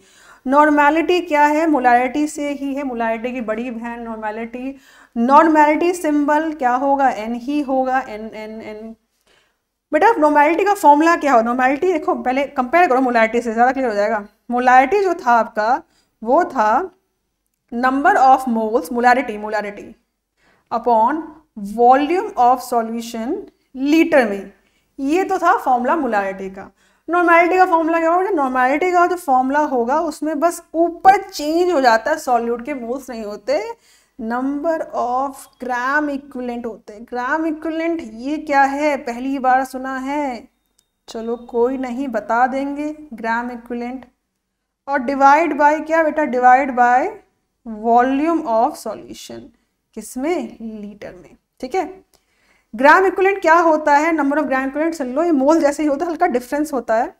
पहले इसे निकालना सीख लो, ठीक है? चलो पहले एक क्वेश्चन कर लेते हैं मोलारिटी में अच्छे सीख जाएँगे। पहले यूनिट देख लो यूनिट क्या है इसकी? यूनिट क्या होगी? इसकी तो इसे ग्राम इक्वलेंट ही बोलते हैं। और ये लीटर होगा तो यूनिट हो जाएगी ग्राम इक्वलेंट पर लीटर कभी कभी एन भी बोलें कभी कभी नॉर्मल भी बोलेंगे, क्योंकि नॉर्मल बातें हैं। ये यूनिट्स होगी। क्वेश्चन अगर आपको ऐसा आ जाए कि दो ग्राम इक्वलेंट है इन वन लीटर ऑफ़ या टू लीटर ऑफ़ सॉल्यूशन बताओ नॉर्मेलिटी क्या है? भाई, क्या करना है? टू बाई टू हो गया ना वन तो ग्राम इक्वलेंट दिया हुआ है तो निकाल दोगे नॉर्मेलिटी नॉर्मेलिटी दिया है वॉल्यूम दिया है तो ग्राम इक्वलेंट निकाल दोगे सिंपल है। पर क्वेश्चन इतना सिंपल नहीं आता ना, ये तो बहुत ही तो बहुत ही मामूली सा क्वेश्चन है, बहुत ही तुच्छ क्वेश्चन है। क्वेश्चन कैसा आता है बच्चों? क्वेश्चन जो आता है, वो आपको इस तरीके से आता है, आपको ना मोल्स देगा, वो मास देगा। तो थोड़ा थोड़ा समझ लो नॉर्मेलिटी और समझ लो। तो बेटा ग्राम इक्वलेंट थोड़ा जान लो क्या होता है ग्राम इक्वलेंट भी। क्वेश्चन तो सिंपल नहीं आएगा। तो ग्राम इक्वलेंट होता है number of gram equivalent given mass upon equivalent mass yes yes समझ में आ गया ये चीज़? क्या समझ में आया? अगर आप नोटिस करो, जो आपके नंबर ऑफ़ जैसे मोलारिटी में आप नंबर ऑफ़ मोल्स यूज़ करते हो, ये होता है given mass upon molar mass ये होता है ना फॉर्मूला इसका मोलर मास नोमैलिटी में ग्राम इक्वलेंट होता है ग्राम इक्वलेंट होता है गिवन मास तो उसमें भी है. नोमैलिटी में गिवन मास है. ग्राम इक्वलेंट में गिवन मास है, बस नीचे जो है मोलर मास नहीं इक्वलेंट मास है इसी से पूरी कहानी चेंज हो गई। इसलिए पढ़ते आते equivalent equivalent mass equivalent weight क्या होता है? इक्वलेंट वेट कह लो उससे मास से बेहतर है ना इक्वलेंट वेट होता है। तो इक्वलेंट और इक्वलेंट वेट क्या होता है बताओ इक्वलेंट वेट क्या होता है? ये यही पढ़ा था molecular mass divide by N factor तो मैं इसकी वैल्यू इसी फॉर्मूला पुट कर दूँ, क्या इसमें, बताना क्या होगा? तो नंबर ऑफ़ ग्राम इक्वलेंट आपके हो जाएँगे given mass upon molecular mass into N factor बेटा, कह सकती हूँ, कह सकती हूँ। फॉर्मूला इसे लिख दिया, देख लो अच्छे से। अब ये ये ये कहीं देखा था, कहीं देखा था इसको? कहीं याद आ रहा है पुराने जमाने का जन्म का कुछ कुछ खोया कुछ खोया हुआ चीज़? कहीं कहाँ देखा था इसको? ये हमने यहाँ देखा था गिवन मास है मोलर मास क्या होता है? मोल्स होते हैं कब से भरते हुए आ रहे हैं। तो ये क्या हो गया? Moles, number of moles into N factor कुछ समझे? ना, नंबर ऑफ़ ग्राम इक्विलेंट कुछ नहीं होता, मोल्स इनटू एन फैक्टर होता है। और अगर मैं ये ग्राम इक्विलेंट का जो वैल्यू है, मोल्स इनटू एन फैक्टर ये नॉर्मेलिटी के रख दो फॉर्मूले में? रख दो फॉर्मूले में? क्या आएगा? चेक करो एक बार। चलो भाई, कर ही लेते चेक एक बार। तो नॉर्मेलिटी जो था आपका, वो था number of gram equivalent upon volume of solution ठीक है लीटर में। ग्राम इक्विलेंट क्या था? Number of gram equivalent moles into N factor चलो पुट करके देखते हैं। तो नॉर्मैलिटी है number of moles into N factor upon volume of solution बेटा, कुछ याद आ रहा है? फिर से पुराने समय में कुछ चीज़ें याद आ रही है?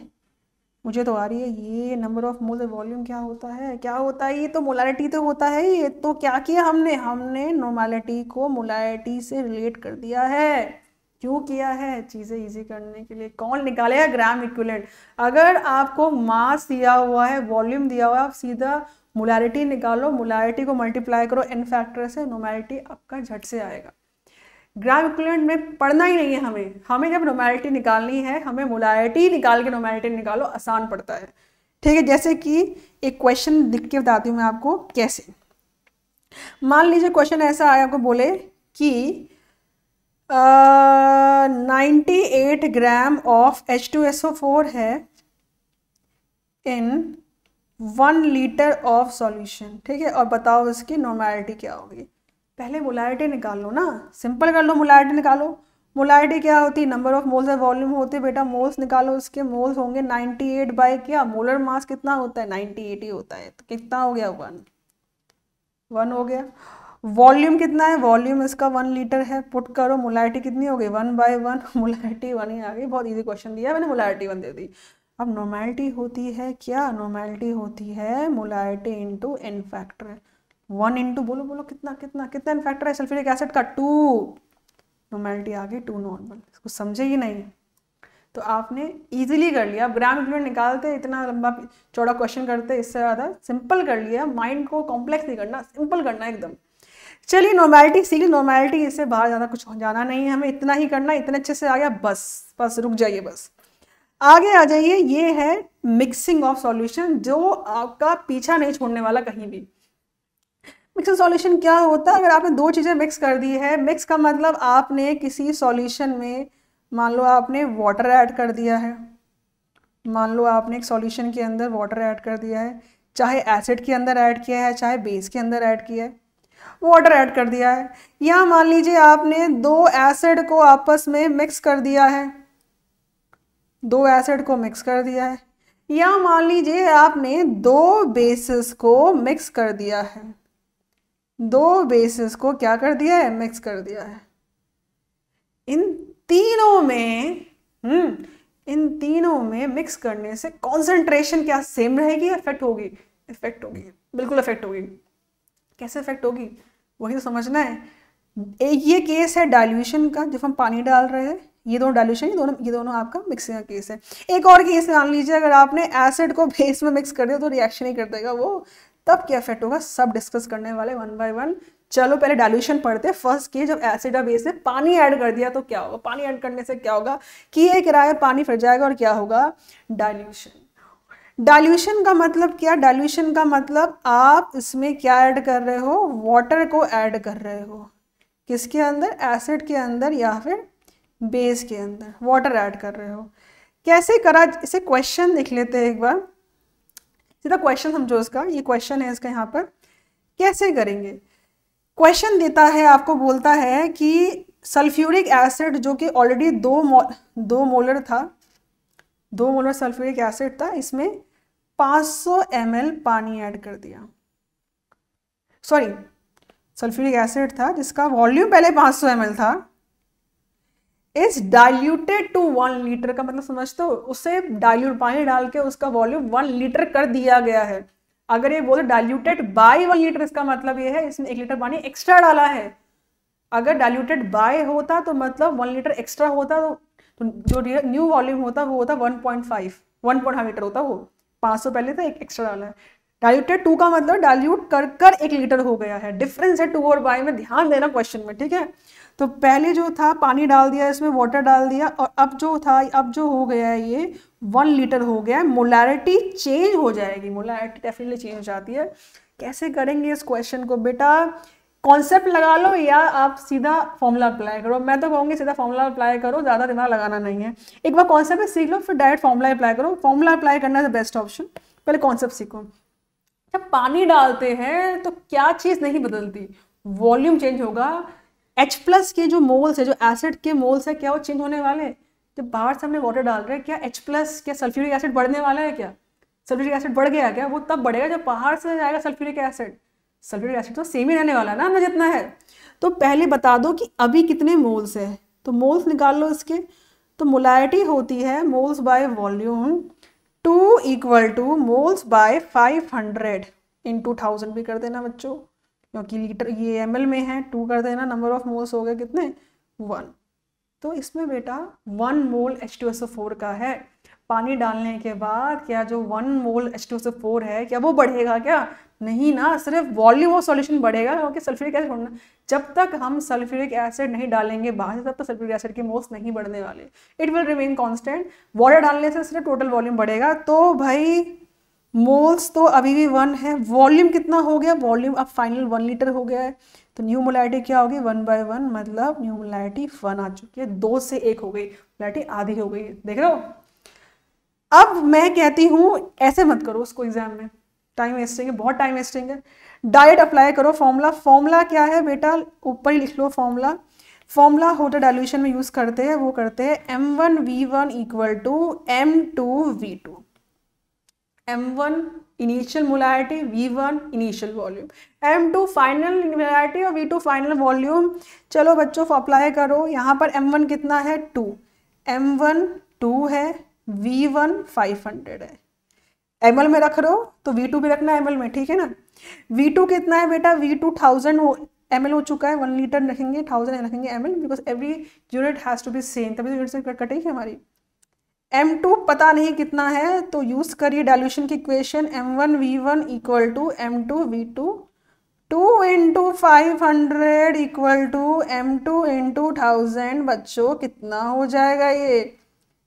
Two into five hundred upon thousand दोनों की वैल्यू बराबर आ गई ऊपर नीचे. वन वन क्या? वन मोलर सेम ही तो आया, देखो आंसर तो क्यों दिमाग लगाना डायरेक्ट फॉर्मूला लगाओ ना? चलो, ये क्वेश्चन आप लोग खुद करना। देखते हैं ये क्वेश्चन कैसे करोगे।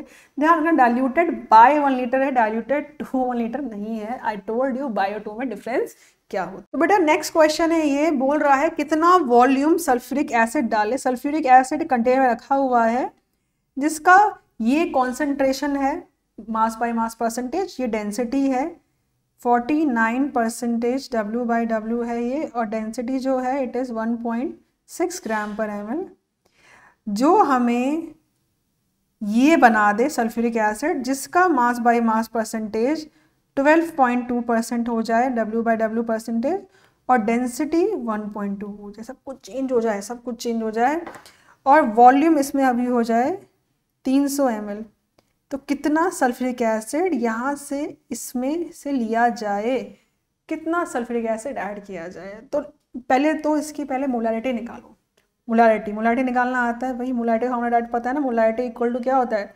Thousand into density. One second. Molarity का रिलेशन क्या होता है? मास परसेंटेज से mass by mass percentage into density into ten divide by molar mass apply करो, निकालो भाई, निकालो निकालो मोलारिटी मोलारिटी यहाँ से निकल के आपके हाथ में सब कुछ दिया मोलारिटी हाथ में मोलारिटी इसकी निकालो मोलारिटी निकालो. तो ये एम वन हो गया, ये एम टू हो गया, बस वी टू आपके हाथ में दिया हुआ है. वी टू आपके हाथ में तो M one V one equal to M two V two apply करो ना. M two V two apply करो क्या हो जाएगा? वी वन आपके हाथ में आ जाएगा, नहीं आ जाएगा?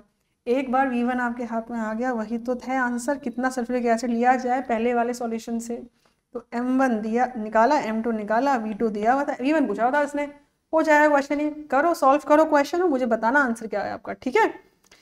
चलो, अब मिक्सिंग है एसिड एंड एसिड की। जब एसिड एसिड मिक्स करोगे, याद रखना, जब एसिड एसिड मिक्स होते हैं, जैसे मान लीजिए मैं एच मैं एच ऐड कर रही हूँ तो देखो, पहले जब पानी मिक्स किया था तो पानी मिक्स करने से तो मोल्स ऑफ़ एसिड बढ़े नहीं थे, लेकिन यहाँ बढ़ेंगे कि दोनों एसिड मिक्स दोनों एच दोनों एच प्लस देने वाले हैं, दोनों एच प्लस एच प्लस देंगे तो मोल्स ऑफ़ एच प्लस बढ़ जाता है। ठीक है, याद रखिएगा। तो इसमें क्या होता है, जो हम इक्वेशन यूज़ करते हैं फाइनल मोलारिटी जो होती है फाइनल मोलारिटी और फाइनल वॉल्यूम इक्वल टू होता है एम वन वी वन पहला वाला सॉल्यूशन प्लस दूसरा वाला सॉल्यूशन जितने भी सॉल्यूशन है वो सबको प्लस कर दीजिए इक्वल होगा एम फाइनल वी फाइनल के। जैसे कि ये फॉर्मूला नोट करिए और एक क्वेश्चन को समझते हैं इससे। फॉर्मूला देखिए एसिड ये तब है जब दोनों सेम हो एसिड एसिड सेम मतलब एस एल नहीं सेम मतलब दोनों ही एसिड होने चाहिए। चाहे वो सल्फ्यूरिक और नाइट्रिक हो सल्फ्यूरिक और एसिड हो कोई फ़र्क नहीं पड़ता, पर दोनों एसिड तो जो हमारा नेक्स्ट टॉपिक है, वो है पार्ट्स पर मिलियन पीपीएम ये बताता है बेटा कि कितना कंपोनेंट डिजोल्व है per million of solution per million मतलब ग्राम में। मतलब एक मिलियन ग्राम सॉल्यूशन में कितना आपका सॉल्यूट डिजोल्व है, वो बताता है पीपीएम पीपीएम एक क्वांटिटी है। अगर सॉल्यूट बहुत ही कम डिजोल्व होता है, क्योंकि अगर आपका, आप सॉल्यूशन को मिलियन में बोल रहे हैं तो सॉल्यूट का अमाउंट मतलब ज़्यादा नहीं है। तो जब आपका सॉल्यूट बहुत ही कम होता है मतलब कॉन्सेंट्रेशन बहुत कम होती है, तब हम पीपीएम को यूज़ करते हैं, क्योंकि ये एक मिलियन सॉल्यूशन के अंदर की बात करता है। तो पीपीएम जो है हमारा, इसको हम बोलते हैं parts per million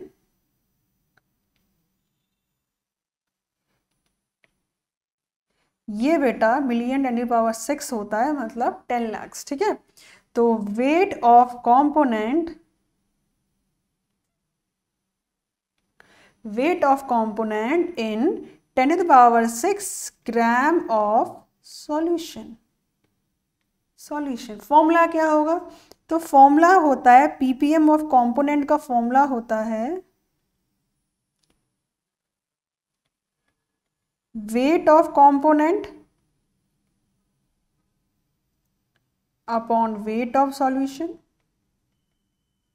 into ten to power six क्यों क्योंकि जब हम परसेंटेज निकालते तो हंड्रेड से मल्टीप्लाई करते हैं। हम पर मिलियन बताए तो बिलियन से मल्टीप्लाई करेंगे ना। मिलियन ही मल्टीप्लाई करेंगे हम। ये तो हो गया फॉर्मूला इसका। अब इसमें क्वेश्चन कैसे आते हैं? सिंपल क्वेश्चन होगा। मास बोलेगा सॉल्यूट का मास ये है सॉल्यूशन का मास ये है। बताओ पीपीएम कितना होगा, कितना पीपीएम है, ये इस तरह से क्वेश्चन आएँगे। सिंपल फॉर्मूला पुट करने क्वेश्चन में कुछ नहीं करना है। और हाँ थोड़ा डिफरेंट क्वेश्चन है, वो बता देती हूँ आपको, जो थोड़ा डिफरेंट क्वेश्चन बन सकता है इससे, वो ये है। क्वेश्चन लिखिए, चलिए। तो जो क्वेश्चन थोड़ा सा अलग है, वो मैं आपको करवा देती हूँ। क्वेश्चन है बेटा क्वेश्चन नोट करिए और सॉल्व करिए इसको, ठीक है? क्वेश्चन है convert one PPM into percentage कैसे कन्वर्ट करेंगे? तो पहले तो पीपीएम की डेफिनेशन से ही पेपर को ओपन करते हैं। वन पीपीएम मतलब कि one gram of solute in ten power six gram of solution तो वन ग्राम ऑफ़ सॉल्यूट किसके अंदर है बच्चों? In ten power six gram of solution ठीक है? परसेंटेज निकालना है मास परसेंटेज निकालना है तो फॉर्मूला क्या है? मास ऑफ़ सॉल्यूट दे रखा है। मास ऑफ़ सॉल्यूशन दे रखा है और into hundred because you finding percentage ना। तो कर लीजिए, क्या दिक्कत है? तो सॉल्यूट का मास वन सॉल्यूशन का mass ten to power six into hundred तो your answer will be ten to the power four PPM minus four PPM तो ये आपको आंसर मिलेगा। ठीक है? तो ये तो हो गया पीपीएम। आगे मूव करते हैं लास्ट टॉपिक हमारा स्टोइक्योमेट्री एंड लिमिटिंग रिएजेंट तो बेटा स्टोइक्योमेट्री क्या होती है? चलिए समझते हैं, पर इसे समझने से पहले कुछ कॉमन रिएक्शन जान लेते हैं। एक बहुत इंपॉर्टेंट रिएक्शन है, वो है कंबशन ऑफ़ हाइड्रोकार्बन कोई भी अगर हाइड्रोकार्बन या अल्कोहल बर्न होता है हाइड्रोकार्बन कोई भी अल्कोहल को आप बर्न करते हो बर्न का मतलब होता है ऑक्सीजन से रिएक्शन करना। तो क्या मिलता है? आपको मिलता है कार्बन डाइऑक्साइड, प्लस मिलता है वाटर, और बहुत सारी एनर्जी मिलती है, जो कि हमें मतलब नहीं उस एनर्जी से। हमें बस क्या मैटर है वो देखना है। तो hydrocarbon any hydrocarbon on combustion will form two and water ये याद रखिएगा। तो मान लीजिए मैं एक रिएक्शन लेती हूँ कौन सी मान लीजिए मैंने आपका मीथेन लिया है और मैंने इसे कंबशन करा है प्लस ओ टू करा है तो क्या बनेगा बच्चों? तो सी ओ टू बनेगा और वाटर बनेगा। तो स्टोइकोमेट्रिक लिमिटेड रिएजेंट में जब भी पढ़ेंगे बैलेंसिंग आना बहुत ज़रूरी है बैलेंस करना बहुत ज़रूरी है। तो बैलेंस कर लेते हैं इसको, कैसे बैलेंस करेंगे भाई? फोर हाइड्रोजन है फोर कर देते हैं हाइड्रोजन कार्बन तो बराबर ऑक्सीजन देखिए कितने हैं यहाँ पर? Four oxygen provide side two लगा दीजिए, यहाँ पर हो गए आपके टू मोल्स ऑफ़ अब स्टोकियोमेट्री कहती है, जो स्टोकियोमेट्री कोफिशियंट ही होता है, जो हम आगे लगा रहे हैं ना बैलेंसिंग में दिस इज़ द स्टोकियोमेट्री इसके आगे कुछ नहीं है तो क्या मानेंगे? वन मानेंगे, इसका मतलब अगर बात करूँ मोल्स में, इसका मतलब है कि वन मोल ऑफ़ मीथेन कितने मोल ऑक्सीजन से रिएक्ट कर रहा है बेटा? टू मोल ऑफ़ ऑक्सीजन से रिएक्ट कर रहा है और क्या बना रहा है? बना रहा है one mole of CO two and two moles of water ठीक है? ये तो बात है मोल्स की, हमें पता चला कैसे? स्टोइक्योमेट्री से। तो अगर मैं बोलूँ, मेरे पास अगर दो मोल मिथेन है, बताओ, दो मोल मिथेन कितना बनाएगा सीओ टू तो अगर एक मोल एक बना रहा है तो दो मोल दो ही तो बनाएगा। अगर मान लीजिए मेरे पास चार मोल ऑक्सीजन गैस है तो बताइए चार मोल ऑक्सीजन गैस कितना सीओ टू बनाएगी? दो मोल ऑक्सीजन गैस एक बना रही है तो डबल कर दिया चार तो उसका भी डबल करिए, दो मोल बनाएँगे तो हमने सिर्फ़ कितना रिएक्टेंट चाहिए वो नहीं, हमने कितना प्रोडक्ट बनेगा, क्या बनेगा, सब बता रहे हैं बाई स्टोइकोमेट्री अगर ये मोल्स में कर सकते हैं तो हम इसको फिर बाकी में, जैसे मास में, हम इसके कितने मॉलिक्यूल्स हैं, कितना वॉल्यूम है, सब में इसको कन्वर्ट कर सकते हैं। जैसे कि, अगर मैं बात करूँ मास की तो मिथेन का मास कितना होता है? निकालिए ट्वेल्व प्लस फोर मतलब सिक्सटीन ग्राम ऑक्सीजन का ओ का होता है sixteen gram gram atomic mass O two का थर्टी टू है तो यहाँ पर टू ओ टू है तो थर्टी टू टू कितना हो गया? Sixty four gram C O two का मास पता करिए कितना आया? जी, बिल्कुल फोर्टी फोर ग्राम और वाटर का कितना आया? थर्टी सिक्स ग्राम इसका मतलब ये है सिक्सटीन ग्राम मीथेन. एक मोल बस सिक्सटीन ग्राम ही होता है। रिएक्ट कर रहा है 64 ग्राम ऑक्सीजन दो मोल मतलब 64 ग्राम ऑक्सीजन गैस तो होती है, और बना रही है 44 ग्राम सी ओ ट्वेंटी और 36 gram of water vapour water vapour ठीक है? अब मुझे बताइए, अगर मैंने मीथेन को 32 ग्राम ले लिया तो बताइए कितना ग्राम बनेगा सी ओ टू अगर डबल करोगे मीथेन को तो सी ओ टू डबल हो जाएगा ना? कितना होना चाहिए? 88 ग्राम, देखो क्या, कुछ नहीं है, बहुत सिंपल है। ट्रिपल कर दोगे अगर तो ये भी ट्रिपल हो जाएगा। ऐसे ही करना है, बस यही है। अब अगर मैंने इसको कंपेयर किया है मास के थ्रू तो चलो एक काम करते हैं, थोड़ा मॉलिक्यूल भी जान लेते हैं। तो मॉलिक्यूल्स कितने होंगे? तो मिथेन में कितने हैं? एन ए मॉलिक्यूल्स रिएक्ट कर रहे हैं टू एन ए मॉलिक्यूल से बना रहे हैं एन ए मॉलिक्यूल्स और कितने वाटर के molecules two N A molecules ये सब है रिलेशन मॉलिक्यूल्स का। और अगर वॉल्यूम की बात करूँ तो वॉल्यूम कितना हो जाएगा? वन लीटर स्टोकियोमेट्री वन है तो वन वॉल्यूम ऑफ़ क्या, मिथेन रिएक्ट कर रहा है, टू वॉल्यूम ऑफ़ ऑक्सीजन से और बना रहा है वन वॉल्यूम ऑफ़ सी और टू वॉल्यूम ऑफ़ वाटर कहीं पढ़ा था या फिर लॉस में? या गेल उसेक लॉ कहाँ पढ़ा था? हाँ गेल उसेक लॉ में पढ़ा था इसको हमने। चलिए इससे थोड़ा सा अप्लाई करते, थोड़े क्वेश्चन जानते कैसे आएँगे। तो यही रिलेशन को यूज़ करती हूँ मैं। अगर मैं आपसे पूछूँ बच्चों कि मेरे पास मान लीजिए फाइव मोल्स ओ टू है। तो बताइए कितने मोल ऑफ़ वाटर फॉर्म होगा? बताइए। तो देखिए रिलेशन देखिए ऊपर खाली। रिलेशन क्या बोलता है? दो मोल ओ टू बनाता है, दो मोल वाटर तो फाइव कितना बनाएगा भाई? फाइव अगर दो मोल ऑक्सीजन गैस फॉर्म करती है, दो मोल ऑफ़ वाटर ही। तो अगर मेरे पास 5 moles of oxygen gas है, so it will form 5 moles of O2 only, water only. ज़रूरी नहीं आप हमेशा मोल को मोल से रिलेट करें, आप मोल को मास से भी कर सकते हैं। जैसे कि ऐसे क्वेश्चन अगर पूछे आपसे कि एक मोल मीथेन बेटा एक मोल मीथेन 44 ग्राम CO2 दे रहा है, ठीक है? दो मोल मीथेन कितना देगा? डबल कर लीजिए 88 ग्राम ज़रूरी नहीं मोल देके मोल ही पूछे, मोल दे ग्राम ही पूछ सकता है, कि मास पूछ सकता है, आपसे वॉल्यूम पूछ सकता है, आपसे कितने मॉलिक्यूल होंगे वो पूछ सकता है। आपसे पूछती हूँ कि अगर मेरे पास मान लीजिए thirty two gram thirty two gram methane का है तो बताइए कितना मोल सी बनेगा? तो 16 ग्राम एक मोल बनाता है 32 ग्राम कितना बनाएगा? दो मोल। तो मैं किसी को किससे रिलेट कर सकती हूँ? बस रिलेशन रिलेशन देखना है। चलो एक क्वेश्चन लिखती हूँ मैं इसमें। क्वेश्चन लिखते हैं हम। अगर मेरे पास 48 ग्राम ऑफ़ ऑक्सीजन गैस है तो बताइए इसमें कितना ग्राम ऑफ़ ग्राम नहीं, इसमें ले लीजिए मॉलिक्यूल्स कितने मॉलिक्यूल्स वाटर के फॉर्म होंगे, ठीक है? वाटर के फॉर्म होंगे। कैसे करेंगे? तो भाई देख लीजिए 64 जो है, वो आपका two N A molecules form करता है वाटर के। लिख लीजिए भाई लिख लीजिए। 64 ग्राम ऑफ़ O2 आपके two N A molecules of water के फॉर्म करता है। तो फोर्ट वन ग्राम कितने करेगा? Two N A by forty eight है ना? नहीं, sixty four sixty four. Two N A by sixty sixty four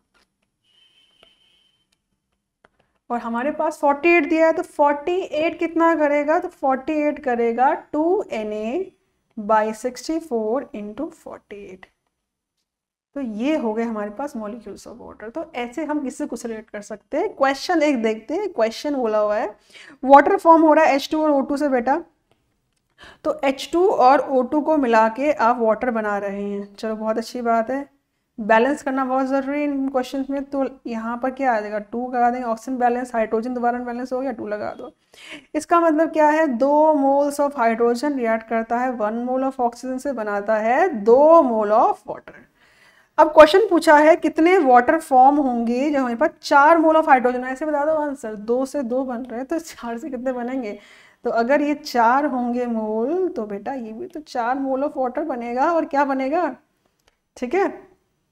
अगर ये बोलता है कि बताइए मास क्या होगा वाटर जब मैंने चार मोल ऑक्सीजन लिया है तो बच्चों, एक मोल ऑक्सीजन आप ले रहे हो तो फिर कितना मास बन रहा है वाटर कितना मास है वाटर का ये? टू इंटू होगा two into eighteen two into eighteen thirty six gram तो मतलब एक मोल ऑक्सीजन के साथ थर्टी सिक्स ग्राम वाटर आपका फॉर्म हो रहा है। Thirty six gram of water तो अगर हमारे पास दो मोल ऑफ़ O2 है, दो मोल्स ऑफ़ दो नहीं, कितने हैं हमारे पास यहाँ? चार मोल दिए बेटा, चार mole. Four moles of O2 है तो कितने बनेंगे water four into thirty six करिए आंसर आ गया हाथ में। कुछ नहीं करना था, हो गया सॉल्व अगला क्वेश्चन चलो मूव करते हैं। क्वेश्चन है थ्री मोल्स अमोनिया के है, बताइए कितना एन टू चाहिए? रिएक्शन है एन लगा दीजिए इसको। रिएक्शन इस तरह से है N two plus H two Haber's process बोलते हैं इसे Haber's process formation of ammonia by from H two N two N H two called Haber's process Haber's Haber ने किया था ना इसलिए। ठीक है तो अब सुनिए बच्चों। तो बैलेंस करेंगे थ्री आ जाएगा टू आ जाएगा, और क्या? तो यहाँ क्या बोलता है ये? क्वेश्चन देखिए, एक मोल एन टू रिएक्ट कर रहा है थ्री मोल एच टू से और बना रहा है टू मोल्स ऑफ़ अमोनिया तो क्वेश्चन है, अगर मेरे पास थ्री मोल्स ऑफ़ अमोनिया है थ्री मोल्स ऑफ़ अमोनिया तो कितने एन टू कितने एन टू रिक्वायर्ड है? तो दो मोल ऑफ़ अमोनिया के लिए कितने रिक्वायर्ड थे N two one mole of N two required था, है ना? रिलेशन रिलेशन लिखो। तो one mole of ammonia unitary लगाइए, एक बनाइए यूनिट्री हमेशा वन की तरफ़ करते हैं। तो one by two moles of N two हो गए। तो अगर मैंने यहाँ पर कितने ले लिए? थ्री मोल्स ले लिए हैं अमोनिया के। तो कितना एन टू चाहिए होगा इसके लिए? तो थ्री बाई टू कर लो ना, और क्या? थ्री बाई टू कर लो। कितना हो गया? Three by two N two मतलब वन पॉइंट फाइव तो one point five is the answer ठीक है? तो क्वेश्चन करिए, जितना क्वेश्चन प्रैक्टिस करेंगे, उतना ज़्यादा क्या होगा, आपका ये क्लियर होगा। ठीक है? मेरे साथ साथ करते जाइए क्वेश्चन अगला क्वेश्चन चलिए आप खुद से करेंगे। सुक्रोज को बर्न करें। सुक्रोज एक कार्बोहाइड्रेट है तो सुक्रोज फॉर्मूला होता है C twelve H twenty two O eleven burn कर रहे एक्सेस ऑक्सीजन ऑक्सीजन दे रहे कोई भी कार्बोहाइड्रेट हो, वो भी आपको वही सिंपल देगा सी ओ टू वाटर तो सी ओ टू और वाटर आपको यहाँ पर मिलेगा।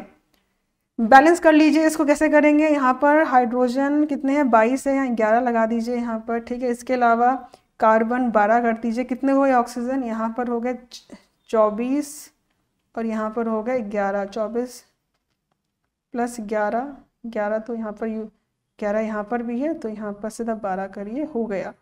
दोनों तरफ़ बराबर ट्वेंटी फोर प्लस इलेवन यहाँ भी हो गए, ठीक है? चलिए तो हमने बैलेंस कर लिया इक्वेशन को। अब क्वेश्चन की डिमांड लिखते क्या है।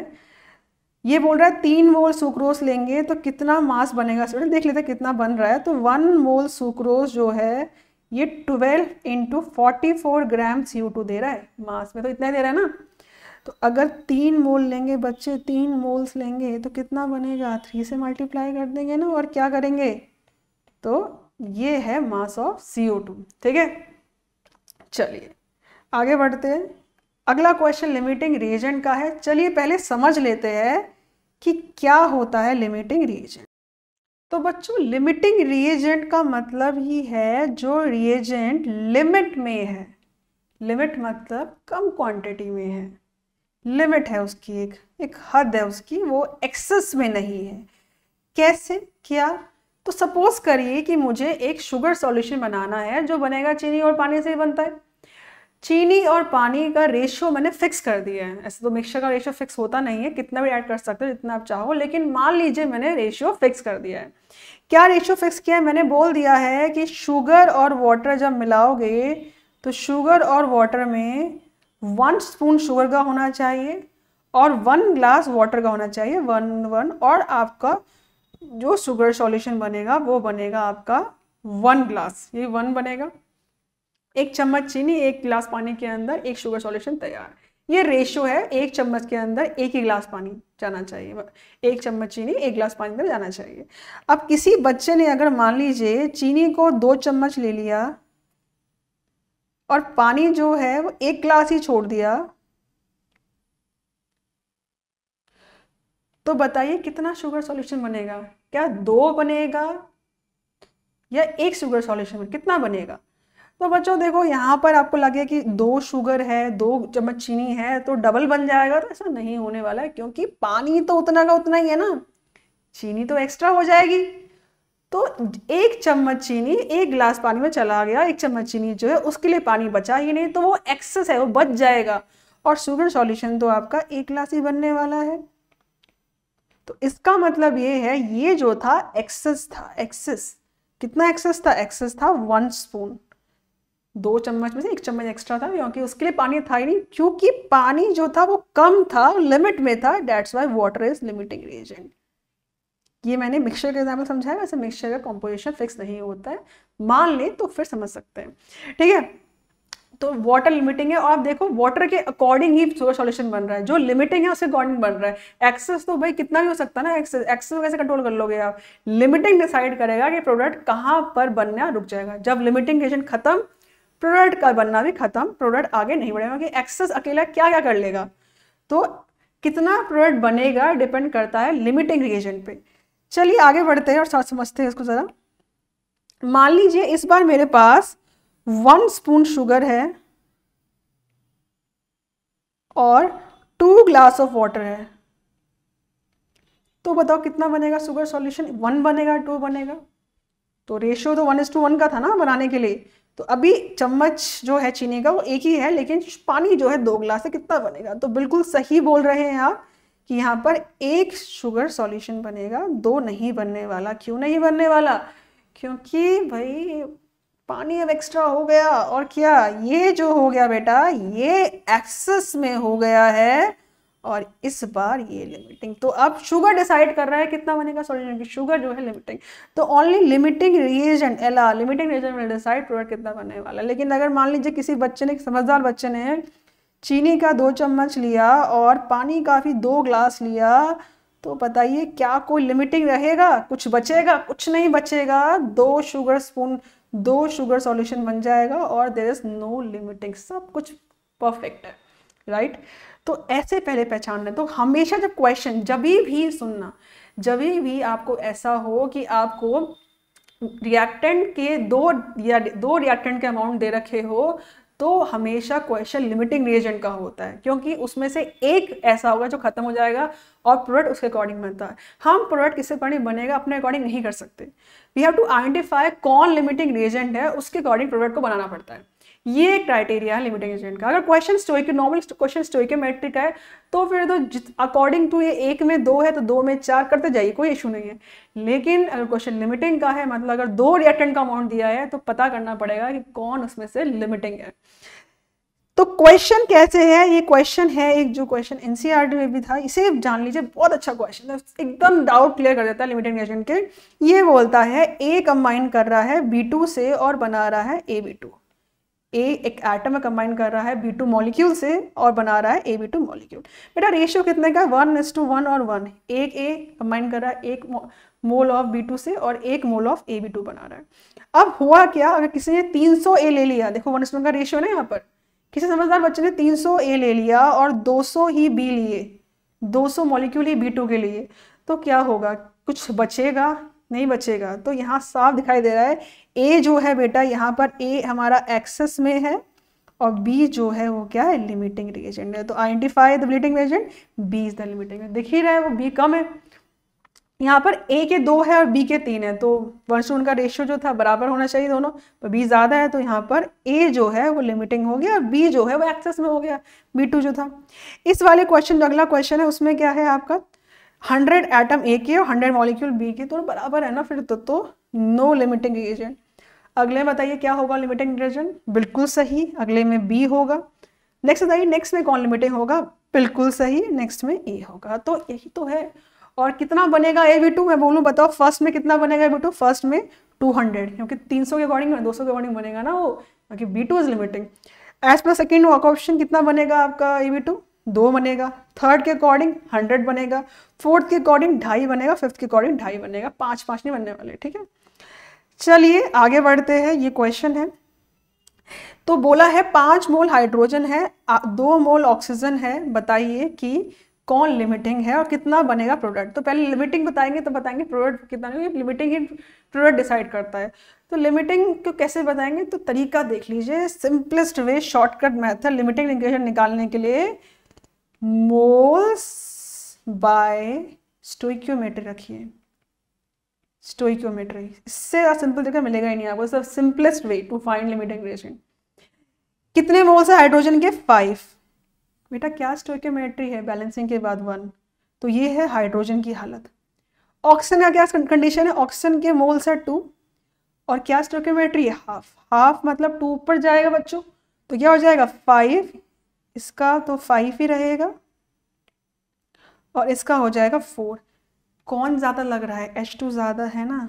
ओ टू का मैं तो बेटा ओ टू लिमिटिंग है। देखो, मैंने बिना ज़्यादा हाथ पैर चलाए सॉल्व कर दिया लिमिटिंग क्वेश्चन क्या करने हैं आपको? मोल्स बाई स्टोक्योमेट्री करना है। जिसकी वैल्यू ज़्यादा, वो एक्सेस होता है। जिसकी वैल्यू कम, वो लिमिटिंग होता है। सॉल्व कर लीजिए आंसर आ जाएगा। तो ओ टू लिमिटिंग है तो बनेगा प्रोडक्ट ओ टू के अकॉर्डिंग तो रिएक्शन क्या बोलती है? H two plus half O two giving water तो इसका मतलब क्या हुआ? ओ टू का ओ टू के ओ टू का कितना है? तो ये बोलता है कि half mole of O two बनाता है वन मोल ऑफ़ वाटर ये तो कह रहा है? दो मोल लिए हैं ओ टू के, क्योंकि लिमिटिंग ओ टू तो ओ टू देख के करेंगे। अगर दो मोल लिए हैं तो कितना बनाएगा? दो बनाए तो कितना बनाएगा? तो आधा एक बना रहा है, दो कितना बनाएगा? सॉल्व करिए मेरे साथ। आधा एक बना रहा है तो वन मोल बनाएगा इसमें टू मोल उस तरफ़ जाएगा ये, ऊपर चला जाएगा टू और अगर हमारे पास कितने हैं? दो मोल ओ टू है तो कितना बनाएगा? ये बनाएगा फोर आप नॉर्मली कर सकते थे कोई बड़ी बात नहीं है। अगर आपने हाफ़ से अगर वन बन रहा है तो टू से आपका कितना बनेगा? फोर ही बनेगा और कितना बनेगा? तो आंसर कर लिया। लिमिटेड को मालूम करना इज़ द मेन टास्क अगले क्वेश्चन में मूव करते अगला क्वेश्चन है हमारा नाइन मोल ए का है और दस मोल बी का है। पहले तो आप सब लिमिटिंग पता करिए, कौन सा लिमिटिंग होगा? चलिए। देखो मैंने इसमें आंसर भी आपको दे रखे हैं। देखिए, पता करिए कि आपका लिमिटिंग एजेंट बी ही आ रहा है कि नहीं आ रहा। तो पहले निकालते हैं, ए का क्या होगा? मोल्स बाय स्टोइक्योमेट्री बी बताइए, मोल्स बाय स्टोइक्योमेट्री ये कितना आएगा? नाइन बाई थ्री थ्री आएगा, ठीक है? और टेन बाई फोर जो है, ये टू पॉइंट समथिंग कुछ आएगा। तो डेफिनेटली यहाँ पर जो है, ये वैल्यू बड़ी है मतलब बी जो है आपका लिमिटिंग रिएजेंट है, मालूम कर लिया। अब बी लिमिटिंग है तो बता दो भाई कितना बनेगा सी तो बी के अकॉर्डिंग फोर बी बनाता है फाइव सी तो एक बी कितना बनाएगा? फाइव बाई फोर सी और कितना बी है हमारे पास? हमारे पास जो बी है अमाउंट वो दस मोल है. तो दस मोल ऑफ़ बी कितना बनाएगा भाई? Five by four into ten मतलब फिफ्टी बाई फोर ऐसे ही आप लोग मोल्स ऑफ़ डी और एक्सेस रेजेंट कौन सा है? एक्सेस रेजेंट तो पता है आपका ए है। कितना ए बचेगा, वो भी निकालिए, ठीक है? चलिए इसको सॉल्व करिए। तो बेटा, इसी के साथ ये ख़त्म होता है मोल कॉन्सेप्ट हमने पूरा बेसिक कॉन्सेप्ट ऑफ़ केमिस्ट्री पढ़ लिया है। जितना जितना आता है, सब सीख लिया है। अब आपको करना क्या है, आपको जाना है और जितने हो सके उतने क्वेश्चन लगाने हैं। कुछ क्वेश्चन परसेंटेज प्योरिटी के भी होंगे, उसको भी ज़रूर देख लीजिएगा, क्योंकि वो क्वेश्चन है तो बहुत ईजी करना बहुत ज़रूरी है, ठीक है? तो ये क्वेश्चन जो थे, हमने सारे डिस्कस कर लिए। अब मोल कॉन्सेप्ट में बस आपको क्वेश्चन लगाने हैं और आपका मोल कॉन्सेप्ट परफेक्ट हो जाएगा। बस देखते यहाँ से बता दोगे आप लोग, ठीक है? तो चलिए बेटा all the best okay bye bye